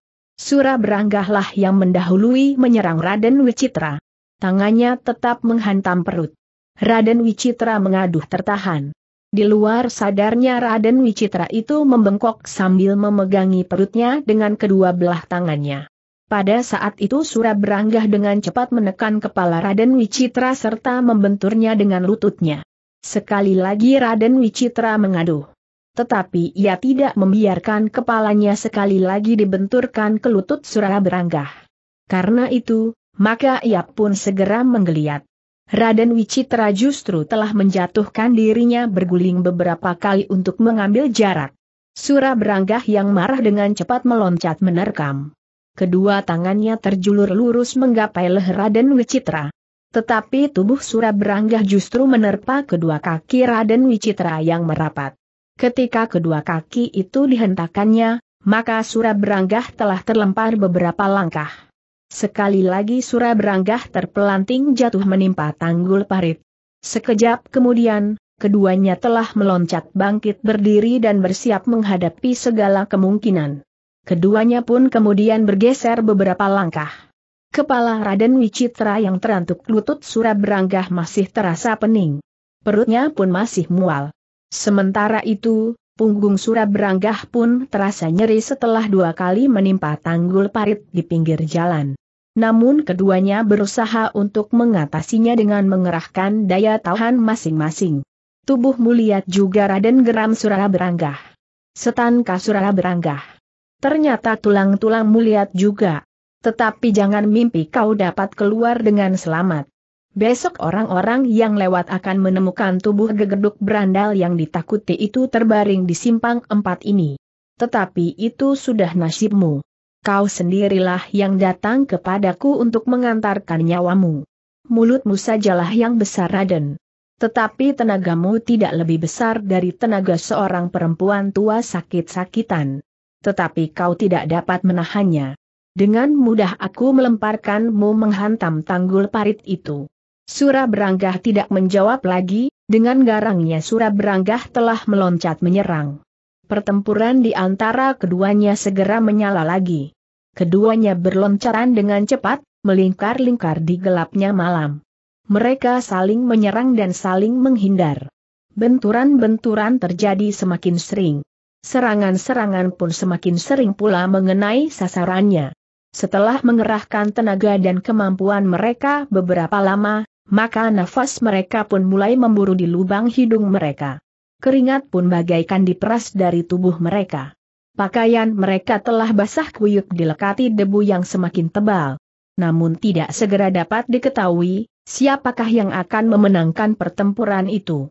Akhirnya Wicitra merasa bahwa tidak ada gunanya untuk bertempur terus. Wicitra pun meragukan kemampuannya sendiri untuk dapat mengalahkan Suraberanggah yang bertempur semakin kasar. Dan bahkan menjadi buas dan liar. Meskipun demikian, Wicitra pun meragukan kemampuan Suraberanggah, bahwa ia akan dapat mengalahkannya. Sebenarnya lah, bahwa beberapa saat kemudian, tenaga mereka pun telah menjadi semakin menyusut. Ketika Suraberanggah terpelanting jatuh, maka ia memerlukan waktu beberapa saat untuk bangkit. Tetapi Wicitra pun tidak mampu lagi untuk mendekatinya dengan cepat untuk menyerang pada saat Suraberanggah bangkit dan belum bersiap menghadapi serangannya. Namun Wicitra pun terdorong jatuh dan terjerembab ke dalam parit yang mengalir ketika serangannya tidak mengenai sasaran. Bahkan Suraberanggah sempat mendorongnya dengan sisa tenaganya. Ketika Wicitra itu kemudian bangkit maka ia pun berkata, tidak ada gunanya perkelahian ini diteruskan. Aku akan pergi. Pada kesempatan Iain, aku akan menikahmu dengan kerisku ini. Suraberanggah termangu-mangu sejenak. Sura beranggah melihat keris di tangan Raden Wicitra. Karena itu maka ia pun telah menarik pisau belatinya. Tetapi Raden Wicitra itu tidak menyerangnya. Tertatih-tatih Raden Wicitra itu justru melangkah menjauh sambil berkata, kita cari kesempatan yang lebih baik. Sura beranggah. Aku akan benar-benar membunuhmu. Kenapa tidak kita selesaikan sekarang saja Raden geram Sura beranggah tanganmu tidak lagi kuat menekankan pisaumu itu di dadaku. Aku pun sudah kehabisan tenaga untuk menikam jantungmu. Aku menyesal bahwa aku terlambat menarik kerisku. Aku akan menunggu, Raden. Bagus. Kapan pun saatnya kita akan menyelesaikan persoalan di antara kita ini. Setelah aku membunuhmu, maka aku akan membunuh Kitu Menggung Reksadrana yang tamak itu. Persetan dengan celotahmu itu. Raden Wicitra pun kemudian dengan langkah gontai meninggalkan simpang empat di bulak panjang itu. Sementara Suraberanggah pun tidak mengejarnya. Suraberanggah sendiri sudah merasa kehabisan tenaga, sehingga seandainya mereka bertempur terus, maka mereka tentu hanya akan saling melukai. Tubuh mereka akan terkapar di simpang empat itu. Jika besok mereka diketemukan oleh orang lewat, maka mereka ternyata masih belum mati. Ternyata anak iblis itu mampu mempertahankan hidupnya geram Surah Beranggah. Sementara itu, Raden Wicitra pun melangkah semakin lama semakin jauh menusuk masuk ke dalam gelapnya malam. Sejenak kemudian, simpang empat itu sudah menjadi lengang. Surah Beranggah masih berada di simpang empat itu, duduk di atas tanggul parit yang basah. Namun sejenak kemudian, Sura beranggah yang letih itu pun bangkit berdiri. Kakinya terasa menjadi sangat berat ketika ia melangkah untuk kembali ke rumah Kitu Menggung Reksadrana. Di dini hari, Sura beranggah itu telah berada di rumah Kitu Menggung Reksadrana. Sura beranggah duduk di lantai. Di bawah cahaya lampu minyak ia melihat noda-noda darah pada pakaiannya. Ternyata di tubuhnya terdapat goresan-goresan luka.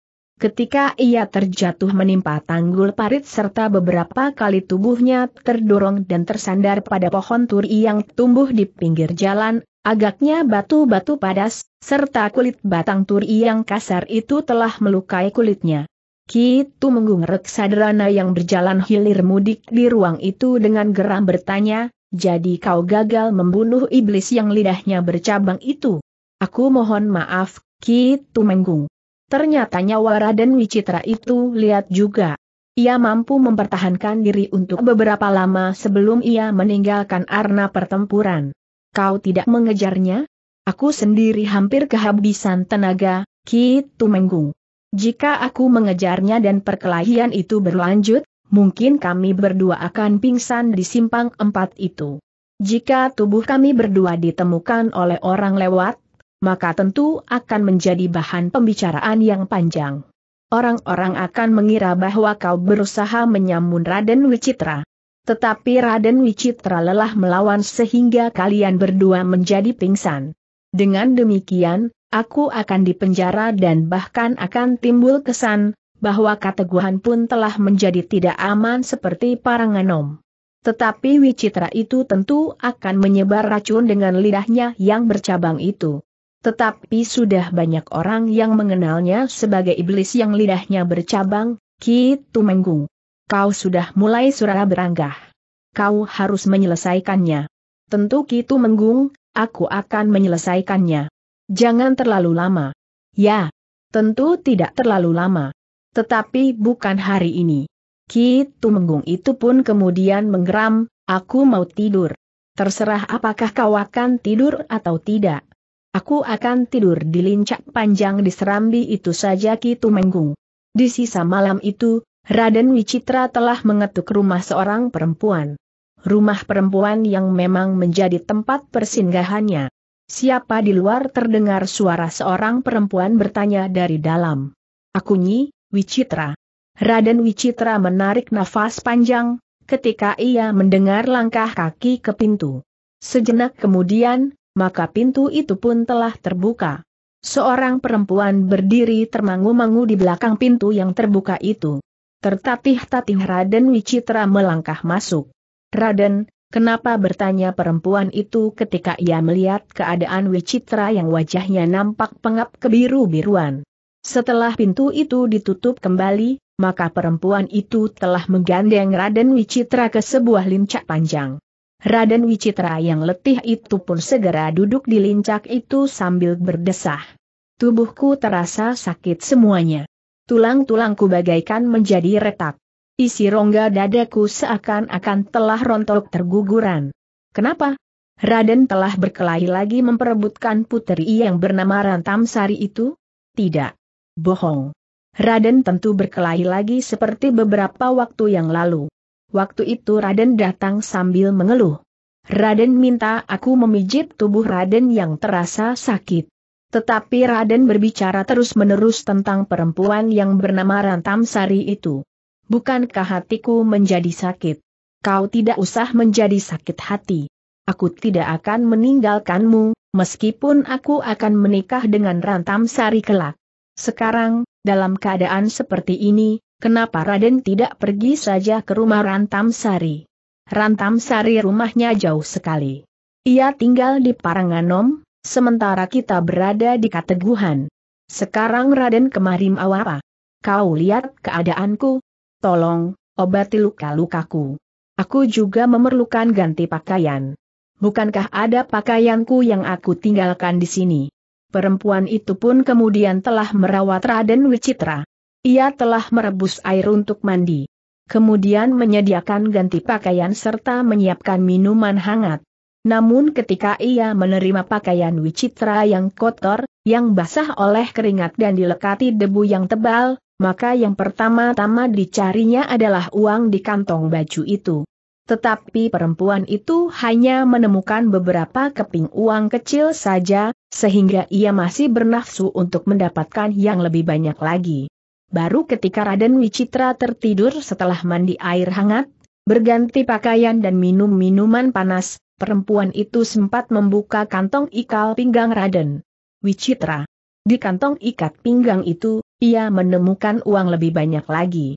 Demikianlah, maka dendam Raden Wicitra kepada Kitu Menggung Reksadrana dan kepada Suraberanggah pun menjadi semakin dalam. Demikian pula sebaliknya, Ki Tumenggung Reksadrana dan Suraberanggah pun menjadi semakin benci kepada Raden Wicitra. Bagi Ki Tumenggung Reksadrana dan bagi Suraberanggah, Raden Wicitra harus disingkirkan. Namun demikian, baik Raden Wicitra maupun Ki Tumenggung tidak ada yang berani memberikan laporan kepada Kang Jeng Adipati Yudapati tentang kejahatan yang pernah mereka lakukan mereka berniat membuat penyelesaian sendiri atas persoalan di antara mereka. Dalam pada itu, di Paranganom, Wismaya melihat hubungan antara Raden Ajeng Rantamsari dan Sasangka menjadi semakin rapat. Bahkan Wismaya pun pernah menyampaikan persoalannya kepada Raden Madiasta. Tetapi Raden Madiasta sendiri merasa agak bingung, apa yang harus dilakukannya. Sasangka sama sekali sudah tidak lagi merasa malu, Raden berkata Wismaya. Aku tidak tahu, apa yang sebaiknya aku lakukan, Kakang. Mungkin kematian Rembana tidak ada hubungannya dengan Raden Ajeng Rantamsari, tetapi bukan berarti bahwa kemungkinan itu tidak ada sama sekali. Kakang Sasangka memang menimbulkan beberapa pertanyaan. Kadang-kadang aku merasa takut memikirkannya. Mungkin apa yang Raden takutkan itu, sama seperti yang aku takutkan pula. Apa yang Kakang takutkan? Pernah tersirat dalam pembicaraan kita sebelumnya, Raden. Tetapi kita masing-masing tidak mengatakannya dengan terbuka. Hubungan antara kematian Kakang Rembana dengan apa yang dilakukan oleh Sasangka sekarang? Ya, Raden. Tegasnya, dugaan bahwa Kakang Sasangkalah yang telah membunuh Kakang Rembana? Ya, aku pun menjadi curiga, karena sebelumnya Sasangka pernah memperingatkan Rembana agar tidak berhubungan terlalu rapat dengan Raden Ajeng Rantamsari. Tetapi waktu itu menurut Kakang Wismaya, Kakang Sasangka mengucapkan peringatannya dengan jujur. Maksudnya, Kakang Sasangka benar-benar memperingatkan Rembana agar Rembana tidak menjadi sangat kecewa di kemudian hari. Hatinya tidak menjadi sangat pedih, jika Raden Ajeng Rantam Sari itu tiba-tiba telah direnggut dari sisinya. Ya, menurut tanggapanku waktu itu memang demikian, Raden.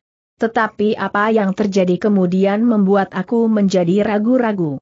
Aku harus berhati-hati menghadapi persoalan ini, Kakang. Raden. Bagaimana menurut pendapat Raden, jika Raden berusaha berdiri di antara Sasangka dan Raden Ajeng Rantamsari? Aku tidak dapat melakukannya, Kakang. Nanti akan dapat timbul salah paham pada Bibi. Raden akan berterus terang mengatakan kepada Raden Ayu Prawirayuda. Raden Madiasta menarik nafas panjang. Selama ini bibinya bersikap amat baik kepadanya. Apalagi menurut ayahandanya, Kang Jeng Adipati Prangkusuma dan Paranganom, bibinya pernah berniat untuk menempatkan Raden Ajeng Rantamsari di sisi Kang Jeng Adipati Yudapati di Kateguhan. Padahal menurut penglihatan orang-orang Keteguhan, Raden Ajeng Rantamsari adalah adik Kang Jeng Adipati Yudapati, meskipun sebenarnya hanyalah adik tiri yang berbeda ayah dan ibu. Karena Raden Madiasta tidak segera menjawab, Wismaya itu pun bertanya pula, bagaimana menurut Raden? Raden Madiasta masih termangu-mangu sejenak. Namun kemudian ia pun justru bertanya, bagaimana menurut tanggapan Kakang Wismaya terhadap sikap Bibi Prawirayuda? Nampaknya Bibi sama sekali tidak menaruh keberatan. Pada saat Raden Ajeng Rantamsari berhubungan dengan Rembana, Raden Ayu Prawirayuda juga tidak berusaha mencegahnya.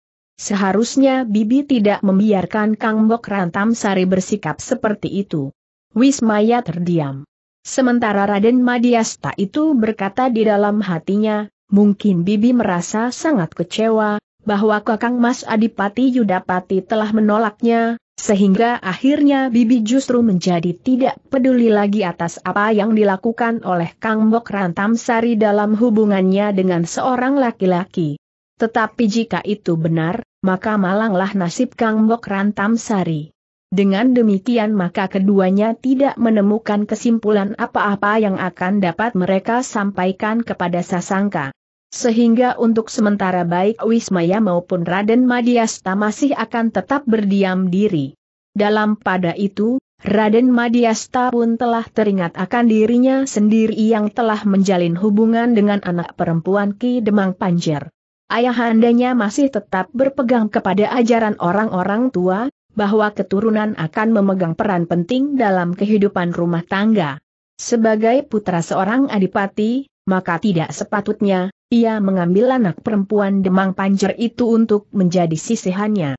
Jika pada saatnya, seandainya hubungan Sasangka dan Kang Bok Rantam Sari dapat diterima oleh Bibi Prawira Yuda, sehingga kemudian disampaikan kepada Ayahanda, aku tidak yakin, bahwa Ayahanda akan menyetujuinya. Ayahanda tentu menghendaki, bahwa Kang Bok Rantam Sari mendapat jodoh seorang yang mempunyai derajat yang setidak-tidaknya tidak berada pada lapisan yang terlalu jauh dari Kang Bok Rantam Sari sendiri bukan hanya sekedar seorang senapati kecil yang masih berpangkat lurah prajurit berkata Raden Madiasta di dalam hatinya. Sebenarnya lah, dari hari ke hari hubungan Sasangka dengan Raden Ajeng Rantam Sari menjadi semakin dekat. Sementara itu, Raden Ayu Prawira Yuda memang tidak berusaha mencegahnya. Hanya setiap kali Raden Ayu sempat memperhatikan tingkah laku puterinya itu dari bilik pintu butulan yang sedikit terbuka, Raden Ajeng Rantam Sari duduk bersama Sasangka di longkangan atau di halaman belakang. Sekali-sekali Raden Ayu memang memanggil putrinya. Tetapi karena Raden Ayu menjadi kesal, bahwa Raden Ajeng Rantam Sari seakan-akan melupakan kain yang sedang dibatiknya. Kapan kainmu itu selesai Rantam Sari bertanya ibunya. Aku sedang letih ibu. Apa yang kau lakukan, sehingga kau menjadi letih? mungkin aku sedang tidak enak badan. Udara terasa terlalu panas, sehingga rasa-rasanya aku lebih senang duduk di taman atau di bawah pepohonan di halaman belakang. Tetapi kainmu itu jangan dilupakan rantam sari. Setiap hari, meskipun hanya sedikit, sebaiknya kau coret kainmu itu. Jika kelak kain itu sudah siap, maka kau akan dengan bangga mengenakannya, karena kain itu kau batik sendiri. Raden Ajeng Rantam Sari yang menjadi muram itu menjawab, aku akan mengerjakannya malam nanti, ibu. Jangan terlalu sering mengerjakan di malam hari. Terangnya lampu minyak dan terangnya cahaya matahari itu berbeda, Rantam Sari. Baiklah, ibu. Besok aku akan mulai membatik di pagi hari. Kenapa besok? Hari ini aku akan beristirahat. Hari ini aku tidak akan mengerjakan apa-apa. Raden Ayu Prawira Yuda hanya dapat menarik nafas panjang. Sementara itu, Raden Ajeng Rantam Sari pun segera meninggalkannya. Selain kegelisahan yang timbul karena hubungan Sasangka dengan Raden Ajeng Rantam Sari, maka agaknya tidak pernah lagi terjadi gangguan di rumah Raden Ayu Prawira Yuda. Raden Wicitra pun tidak pernah datang lagi mengganggu kemanakannya. Meskipun demikian, Raden Madiasta masih saja ragu-ragu untuk meninggalkan rumah bibinya untuk pergi ke Panjer. Jika pada saat ia pergi terjadi sesuatu di rumah itu, maka ayahandanya tentu akan menjadi sangat marah kepadanya. Yang dapat dilakukan oleh Raden Madiasta jika ia merasa jemu berada di rumah bibinya, maka ia pun minta diri untuk pulang ke Kadipaten. Tetapi tidak terlalu lama ia harus sudah berada di rumah bibinya lagi. Di Kadipaten Madiasta dapat bermain-main kuda bersama Raden Wiknyana, seorang penggemar kuda. Tetapi ketika ia sudah berada di rumah bibinya lagi, maka ia akan berada dalam suasana yang tegang. Bukan saja karena setiap saat akan dapat muncul orang-orang yang berniat jahat, tetapi juga karena hubungan antara Sasangka dan Raden Ajeng Rantam Sari yang mendebarkan itu. Namun Raden Madiasta masih juga merasa heran, bahwa bibinya, Raden Ayu Prawira Yuda tidak berbuat apa-apa. Raden Ayu Prawira Yuda itu seakan-akan tidak mengetahui, bahwa Raden Ajeng Rantam Sari sudah tenggelam dalam mimpinya. Raden berkata Wismaya yang menjadi semakin tegang apakah kita masih akan tetap berdiam diri, Sasangka telah melampaui batas tugasnya. Jika pada suatu saat, Raden Ajeng Rantam Sari itu direnggut dari sampingnya karena berbagai macam alasan, maka Sasangka akan dapat menjadi gila. Baiklah, Kakang. Biarlah besok aku berbicara dengan Kakang Sasangka. Aku juga merasa bertanggung jawab jika terjadi sesuatu yang tidak diinginkan di sini, justru oleh titik prajurit Paranganom sendiri. Sekarang, selagi masih ada kesempatan, aku harus mencegahnya. Raden dapat membawa perintah dari Kangjeng Adipati, bahwa Sasangka dipindahkan dari tugasnya yang sekarang. Agar tidak terlalu melukai hatinya, maka sebaiknya kita bersama-sama digeser dari tugas kita ini dan digantikan dengan orang-orang baru sama sekali, namun yang dapat dipercaya. Tetapi sebelumnya, aku akan berterus terang, Kakang. Mungkin Kakang Sasangka akan menjadi kecewa atau bahkan marah kepadaku. Mungkin Kakang Sasangka akan menjadi salah sangka.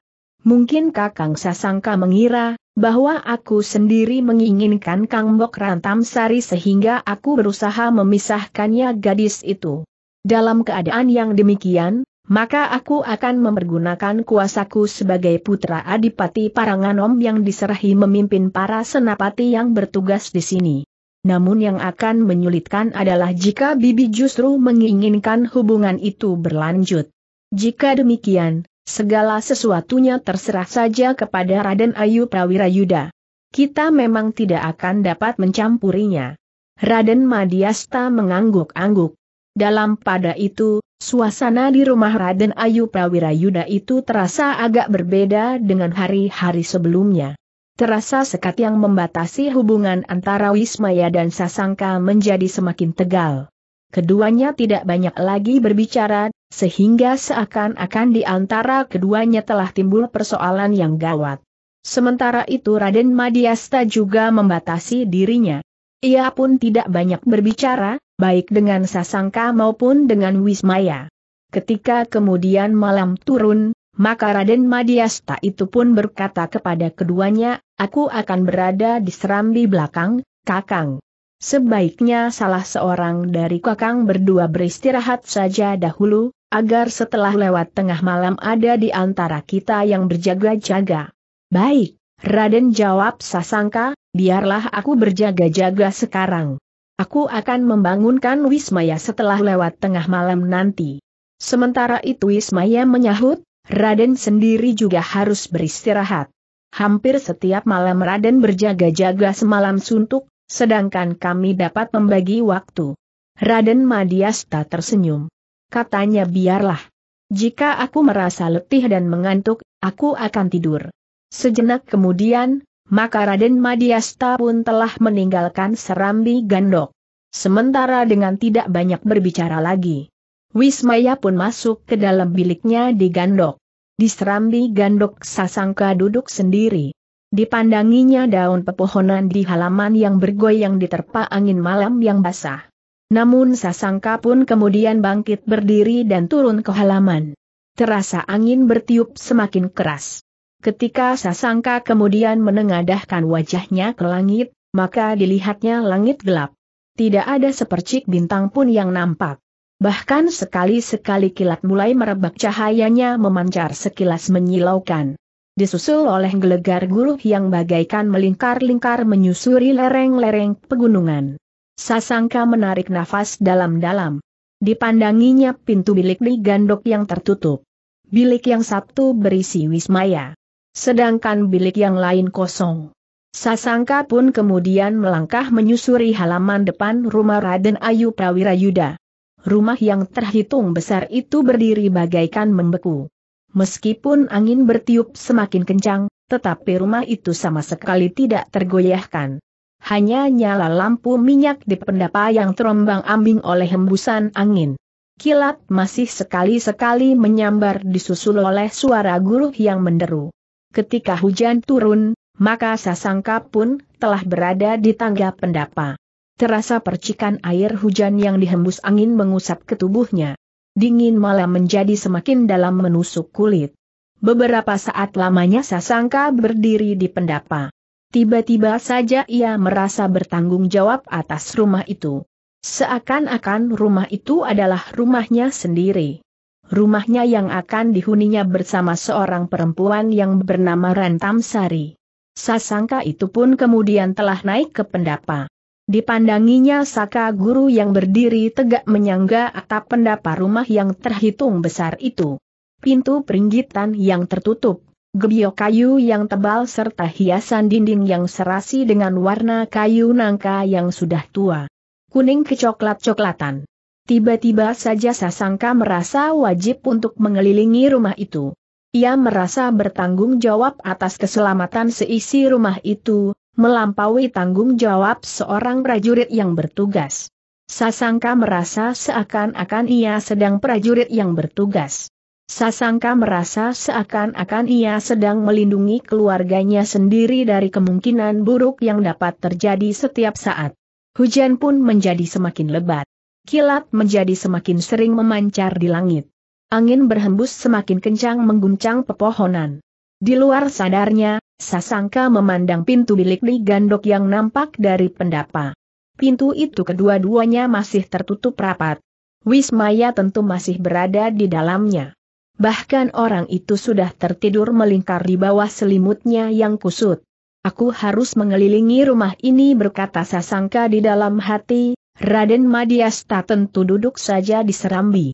Pemalas itu tentu segan turun ke dalam lebatnya hujan. Atau mungkin Raden Madiasta malah masuk ke dalam rumah, duduk-duduk sambil bergurau dengan Raden Ayu Prawirayuda dan Raden Ajeng Rantam Sari sambil minum minuman hangat. Jantung Sasangka bergetar. Di dalam hatinya ia berkata, jika Raden Ajeng Rantam Sari membuat minuman hangat, seharusnya akulah yang dilayaninya. Bukan Raden Madiasta. Tiba-tiba saja Sasangka itu ingin pergi ke serambi belakang. Untuk beberapa saat ia masih mencoba menahan diri. Ia tidak dapat pergi ke serambi belakang melewati pintu peringgitan, masuk ke ruang dalam, kemudian lewat serambi samping sampai ke serambi belakang. Jika ia akan pergi ke serambi belakang, maka ia harus melingkari rumah yang terhitung besar itu. Tetapi ternyata Sasangka tidak dapat menahan dirinya lagi. Ada dorongan yang sangat kuat yang memaksanya untuk turun ke halaman meskipun hujan menjadi semakin lebat. Sementara itu, ternyata Raden Madiasta juga tidak duduk saja di serambi. Hujan yang semakin lebat itu telah membuat hatinya menjadi tidak tenang. Ada sesuatu yang menggelitiknya, agar Raden Madiasta itu turun untuk melihat-lihat keadaan. Dengan demikian maka Raden Madiasta pun telah masuk ke dalam kegelapan, menyusuri dinding rumah. Di bawah emper yang tidak terlalu lebar Raden Madiasta bergeser ke arah longkangan. Malam terasa sepi. Meskipun Raden Madiasta menyusuri emperan rumah, namun pakaiannya masih juga menjadi basah. Ketika Raden Madiasta itu berada di longkangan, dilihatnya longkangan itu sepi sekali. Lampu minyak di serambi samping agaknya telah padam oleh tiupan angin yang kencang. Sejenak Raden Madiasta berdiri termangu-mangu. Namun sejenak kemudian, ia pun mulai bergerak dalam kegelapan menuju ke seketeng. Ketika kilat menyambar di langit, Raden Madiasta melihat bahwa pintu seketeng itu sedikit terbuka. Apakah pintu itu lupa tidak ditutup? Dari longkangan Raden Madiasta melihat bilik tempat para pembantu di rumah itu yang berada di sebelah dapur, sudah gelap. Agaknya para pembantu di rumah itu pun sudah tertidur nyenyak. Jantung Raden Madiasta terasa menjadi semakin berdebaran. Ia tidak tahu apa yang telah menyebabkannya. Ia sudah beberapa lama berada di rumah bibinya. Ia sudah mengalami berkali-kali mengelilingi rumah itu di malam hari. Bahkan pada saat hujan yang lebat sekalipun seperti malam itu. Raden Madiasta itu bergeser terus melekat dinding agar air hujan tidak tercurah langsung ke tubuhnya. Emperan di atasnya masih juga serba sedikit melindunginya dari hempasan air hujan yang seperti tertuang dari langit. Tetapi untuk pergi ke seketeng maka Raden Madiasta tidak dapat menghindari curahan air hujan. Berlari-lari kecil Raden Madiasta menuju ke seketeng. Meskipun jaraknya tidak terlalu panjang tetapi pakaian Raden Madiasta menjadi basah kuyup. Namun demikian Raden Madiasta keluar dari pintu seketeng, ia menjadi sangat terkejut. Ia melihat sesosok tubuh yang menelungkup di tangga serambi gandok. Dengan cepat Raden Madiasta itu berlari. Tanpa menghiraukan air hujan, maka Raden Madiasta pun segera berjongkok di samping tubuh itu. Ketika ia menelentangkannya, maka sekali lagi Raden Madiasta terkejut, sehingga terasa jantungnya bagaikan berhenti berdetak. Kakang Sasangka Raden Madiasta hampir berteriak. Raden suara Sasangka lemah sekali. Kakang Wismaya. Kakang Wismaya teriak Raden Madiasta. Tetapi suaranya larut oleh deru derasnya hujan. Raden Madiasta tidak meninggalkan Sasangka yang menjadi sangat lemah.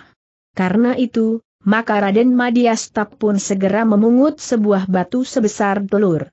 Dilemparkannya batu itu ke pintu bilik Wismaya. Derak batu yang mengenai pintu itu telah mengejutkan Wismaya yang memang sedang tidur nyenyak.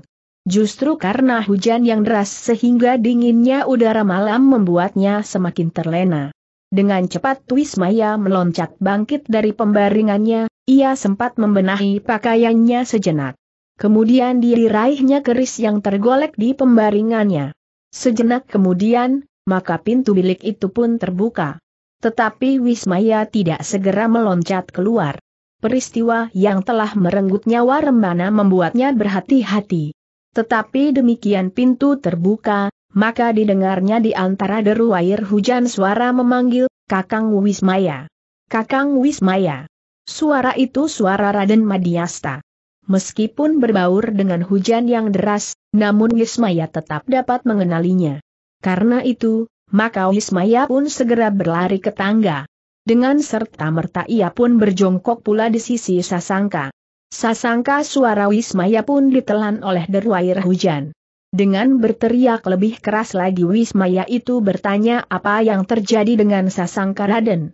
Madiasta menempelkan mulutnya ke telinga Sasangka. Apa yang terjadi, Kakang?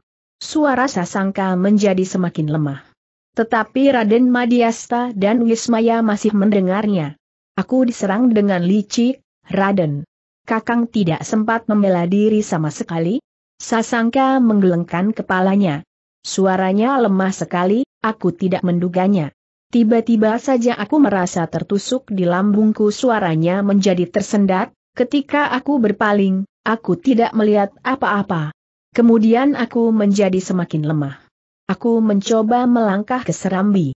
Kakang Wismaya panggil tabib yang mana pun juga untuk memberikan pertolongan, setidak-tidaknya pertolongan sementara kepada Kakang Sasangka. Baik, Raden. Tetapi Sasangka pun berkata, tidak ada gunanya, luka ini terlalu dalam dan darah sudah banyak yang mengalir. Kita harus berusaha sahut Raden Madiasta cepatlah Kakang. Tetapi ketika Wismaya bergeser, sasangka itu pun berdesis Raden. Aku minta maaf bahwa aku tidak dapat menjalankan tugasku dengan baik. Kakang. Sasangka. Nafas Sasangka pun terhenti. Sasangka telah tiada. Terdengar gemeretak gigi Raden Madiasta. Ia pun segera bangkit berdiri sambil menarik kerisnya. Sambil berdiri tegak dengan keris yang bergetar di tangannya Raden Madiasta itu pun berteriak, Hi, jangan berbuat licik dan curang. Jika kau memang laki-laki sejati, keluarlah dari persembunyianmu. Kita akan berhadapan beradu dada. Jangan bersembunyi dan menyerang dari belakang. Itu bukan watak laki-laki. Suara Raden Madiasta meninggi. Bahkan Raden Madiasta itu pun kemudian berlari ke tengah-tengah halaman. Ia masih saja berteriak-teriak dengan marahnya. Namun tidak terdengar sahutan yang terdengar masih saja deru air hujan. Sementara itu Ismaya mengangkat tubuh Sasangka dan dibaringkannya di serambi gandok. Ia pun kemudian mendatangi Raden Madiasta sambil berkata, Sudahlah Raden. Orang itu tidak akan menampakkan dirinya. Orang yang licik itu tidak akan tergelitik mendengar tantangan Raden. Karena itu, marilah. Kita rawat tubuh Sasangka kita memberitahukan kepada Raden Ayu Prawira Yuda, bahwa bencana itu telah terjadi lagi. Setelah rembana, maka kini giliran Sasangka. Aku tidak dapat menerima keadaan ini, Kakang. Tetapi kita tidak dapat berbuat apa-apa, Raden. Mungkin orang yang menusuk Sasangka sekarang sudah berada di bulak sebelah. Nafas Raden Madiasta yang marah itu mengalir semakin cepat. Raden Madiasta bahkan menjadi terengah-engah seperti seseorang yang baru saja bekerja berat sehari suntuk. Marilah, Raden. Silahkan memberitahukan hal ini kepada Raden Ayu Prawirayuda. Raden Madiasta menarik nafas dalam-dalam seakan-akan berusaha mengendapkan perasaannya yang bergejolak. Baiklah Kakang. Aku akan menghadap Bibi. Aku minta Kakang menunggu tubuh Kakang Sasangka. Baik Raden. Wismaya pun kemudian telah kembali ke Gandok. Ia pun kemudian duduk bersila di sebelah tubuh Sasangka yang terbaring diam. Pisau belati yang tertancap di lambungnya telah dilepas oleh titik Wismaya atas persetujuan Raden Madiasta. Namun Raden Madiasta minta Wismaya mengingat-ingat letak pisau belati yang tertancap itu. Raden Madiasta pun kemudian telah naik ke pendapa namun kemudian diurungkan niatnya untuk mengetuk pintu peringgitan. Bibinya akan lebih cepat mendengarnya jika ia mengetuk pintu butulan. Perlahan-lahan Madiasta pun mengetuk pintu yang terdekat dengan bilik tidur bibinya. Sekali dua kali, bibinya masih belum mendengarnya. Bibi tentu tidur dengan nyenyak berkata Raden Madiasta di dalam hatinya. Karena itu, maka Madiasta pun mengetuk semakin keras. Baru kemudian Madiasta mendengar suara bibinya, siapa di luar? Aku bibi, Madiasta. Raden Ayu Prawirayuda mengenal suara itu. Karena itu, maka dengan tergesa-gesa Raden Ayu Prawirayuda pergi ke pintu dan mengangkat selaraknya. Demikian pintu terbuka, ia melihat Raden Madiasta berdiri termangu-mangu dengan pakaian yang basah kuyup. Ada apa Angger? Angger kehujanan? Maaf Bibi. Mungkin aku mengejutkan Bibi. Ada apa? Gerwajah Raden Ayu Prawirayuda menjadi tegang. Yang telah terjadi itu terulang lagi, Bibi. Maksud angger suara Raden Ayu Prawirayuda meninggi. Seperti Kakang Rembana, Kakang Sasangka pun telah terbunuh pula. Angger Sasangka terbunuh suara Raden Ayu itu tinggi melengking. Ya, Bibi. Kami mohon maaf, bahwa yang tidak kita harapkan itu terjadi lagi. Tetapi bagaimana hal itu dapat terjadi, Ger? Bagaimana mungkin? Di mana Angger Sasangka pada saat terjadinya bencana itu, Ger? Kami masih belum mengamatinya lebih jauh, Bibi. Aku menemukan Kakang Sasangka terluka parah di tangga serambi gandok. Nampaknya Kakang Sasangka berusaha untuk mencapai gandok dan memberitahukan kepada Kakang Wismaya tetapi ia sudah menjadi terlalu lemah dan terkapar di tangga. Ketika aku menemukannya, Kakang Sasangka masih hidup. Tetapi ia sudah sangat lemah sehingga tidak banyak yang sempat dikatakannya. Aku telah minta Kakang Wismaya pergi menjemput seorang tabib dari mana pun juga. Tetapi sebelum Kakang Wismaya berangkat, Kakang Sasangka sudah meninggal. Apa yang akan aku katakan kepada Rantam Sari? Raden Madiasta tidak menjawab. Bahkan ia pun segera menundukkan wajahnya. Ternyata pembicaraan yang agak keras di antara deruh hujan itu telah terdengar oleh Raden Ajeng Rantam Sari. Karena itu, maka dengan tergesa-gesa Raden Ajeng Rantam Sari itu pun keluar dari biliknya pula. Ada apa Dimas? Aku mendengar pembicaraan Dimas dengan itu. Nampaknya ada sesuatu yang penting? Raden Madiasta memandang wajah bibinya dengan jantung yang berdebaran. Raden Ayu Prawirayuda pun tidak segera dapat mengatakan apa yang telah terjadi. Karena itu untuk beberapa saat suasana menjadi tegang. Ibu, apa yang terjadi? Ger. Ibu Raden Ajeng Rantam Sari pun segera mendekap ibunya, apa yang terjadi ibu? Kita hanya dapat berusaha, Rantam Sari tetapi keputusan akhir berada di luar jangkauan kuasa kita. Tetapi apa yang terjadi? Raden Ayu Prawirayuda itu mengusap matanya yang basah. Kemudian dia pun berdesis, adalah di luar kemauan kita semuanya, Rantam Sari. Apa? Apa? Ibu belum mengatakannya. Yang pernah terjadi itu ternyata lagi, Rantam Sari. Yang pernah terjadi yang mana? Yang pernah terjadi atas Angger Rembana, kini terjadi lagi atas Angger Sasangka. Ibu Raden Ajeng Rantam Sari itu terpekik, maksud ibu. Raden Ayu Prawirayuda mengangguk. Ibu, di mana Kakang Sasangka sekarang? Di mana? Raden Ajeng Rantam Sari tidak menunggu jawaban ibunya. Namun ketika ia meloncat untuk berlari menghibur di longkangan dalam hujan yang lebat, Raden Ayu Prawirayuda sempat memeluknya sambil berkata, Rantam Sari, tenanglah. Tenanglah. Mungkin bahaya itu masih berada di sekitar kita sekarang ini. Kang Bok berkata Raden Madiasta, sebaiknya Kang Bok jangan keluar dahulu. Tutup saja kembali pintu ini dan diselarak dari dalam. Tidak. Tidak. Aku ingin melihat keadaan Kakang Sasangka. Jangan sekarang Kang Bok cegah Raden Madiasta. Tetapi Raden Ajeng Rantam Sari meronta, sehingga lepas dari pelukan ibunya, di mana Kakang Sasangka? Di mana? Raden Madiasta tidak berniat memberitahukannya. Tetapi Raden Ajeng Rantam Sari itu telah berlari ke Gandok. Ia tahu bahwa bilik Sasangka dan Wismaya berada di Gandok itu. Raden Madiasta tidak dapat berbuat lain kecuali berlari menyusulnya demikian pula Raden Ayu Prawirayuda. Di Serambi Gandok, Wismaya tidak sempat mencegah Raden Ajeng Rantam Sari menjatuhkan diri di atas tubuh Sasangka yang telah tidak bernafas lagi sambil menangis menjerit-jerit. Kakang, kakang, kenapa kau juga pergi meninggalkan aku? Raden Ajeng Prawirayuda pun kemudian berusaha membangunkan anaknya. Sekali-sekali Raden Ayu Prawirayuda itu pun mengusap air matanya pula. Duduklah yang baik, Rantam Sari. Raden Ajeng Rantam Sari memeluk ibunya erat-erat sambil menangis, Ibu, kenapa hal ini harus terjadi padaku?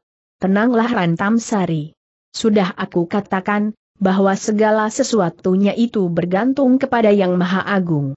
Kita tidak akan dapat mengelakkannya kita harus menerima dengan ikhlas. Tetapi tidak seperti ini ibu. Aku tidak akan mampu memikul beban seberat ini. Kita akan bertanya kepada Yang Maha Agung, apa sebenarnya yang dikehendakinya. Lewat banyak cara, Yang Maha Agung akan menjawab pertanyaan kita, Rantam Sari. Tetapi aku tidak mau hal ini terjadi, Ibu Rantam Sari memeluk ibunya semakin erat. Demikian pula Raden Ayu Prawirayuda. Tetapi Raden Ayu sendiri tidak dapat menahan air matanya yang meleleh dari pelupuknya.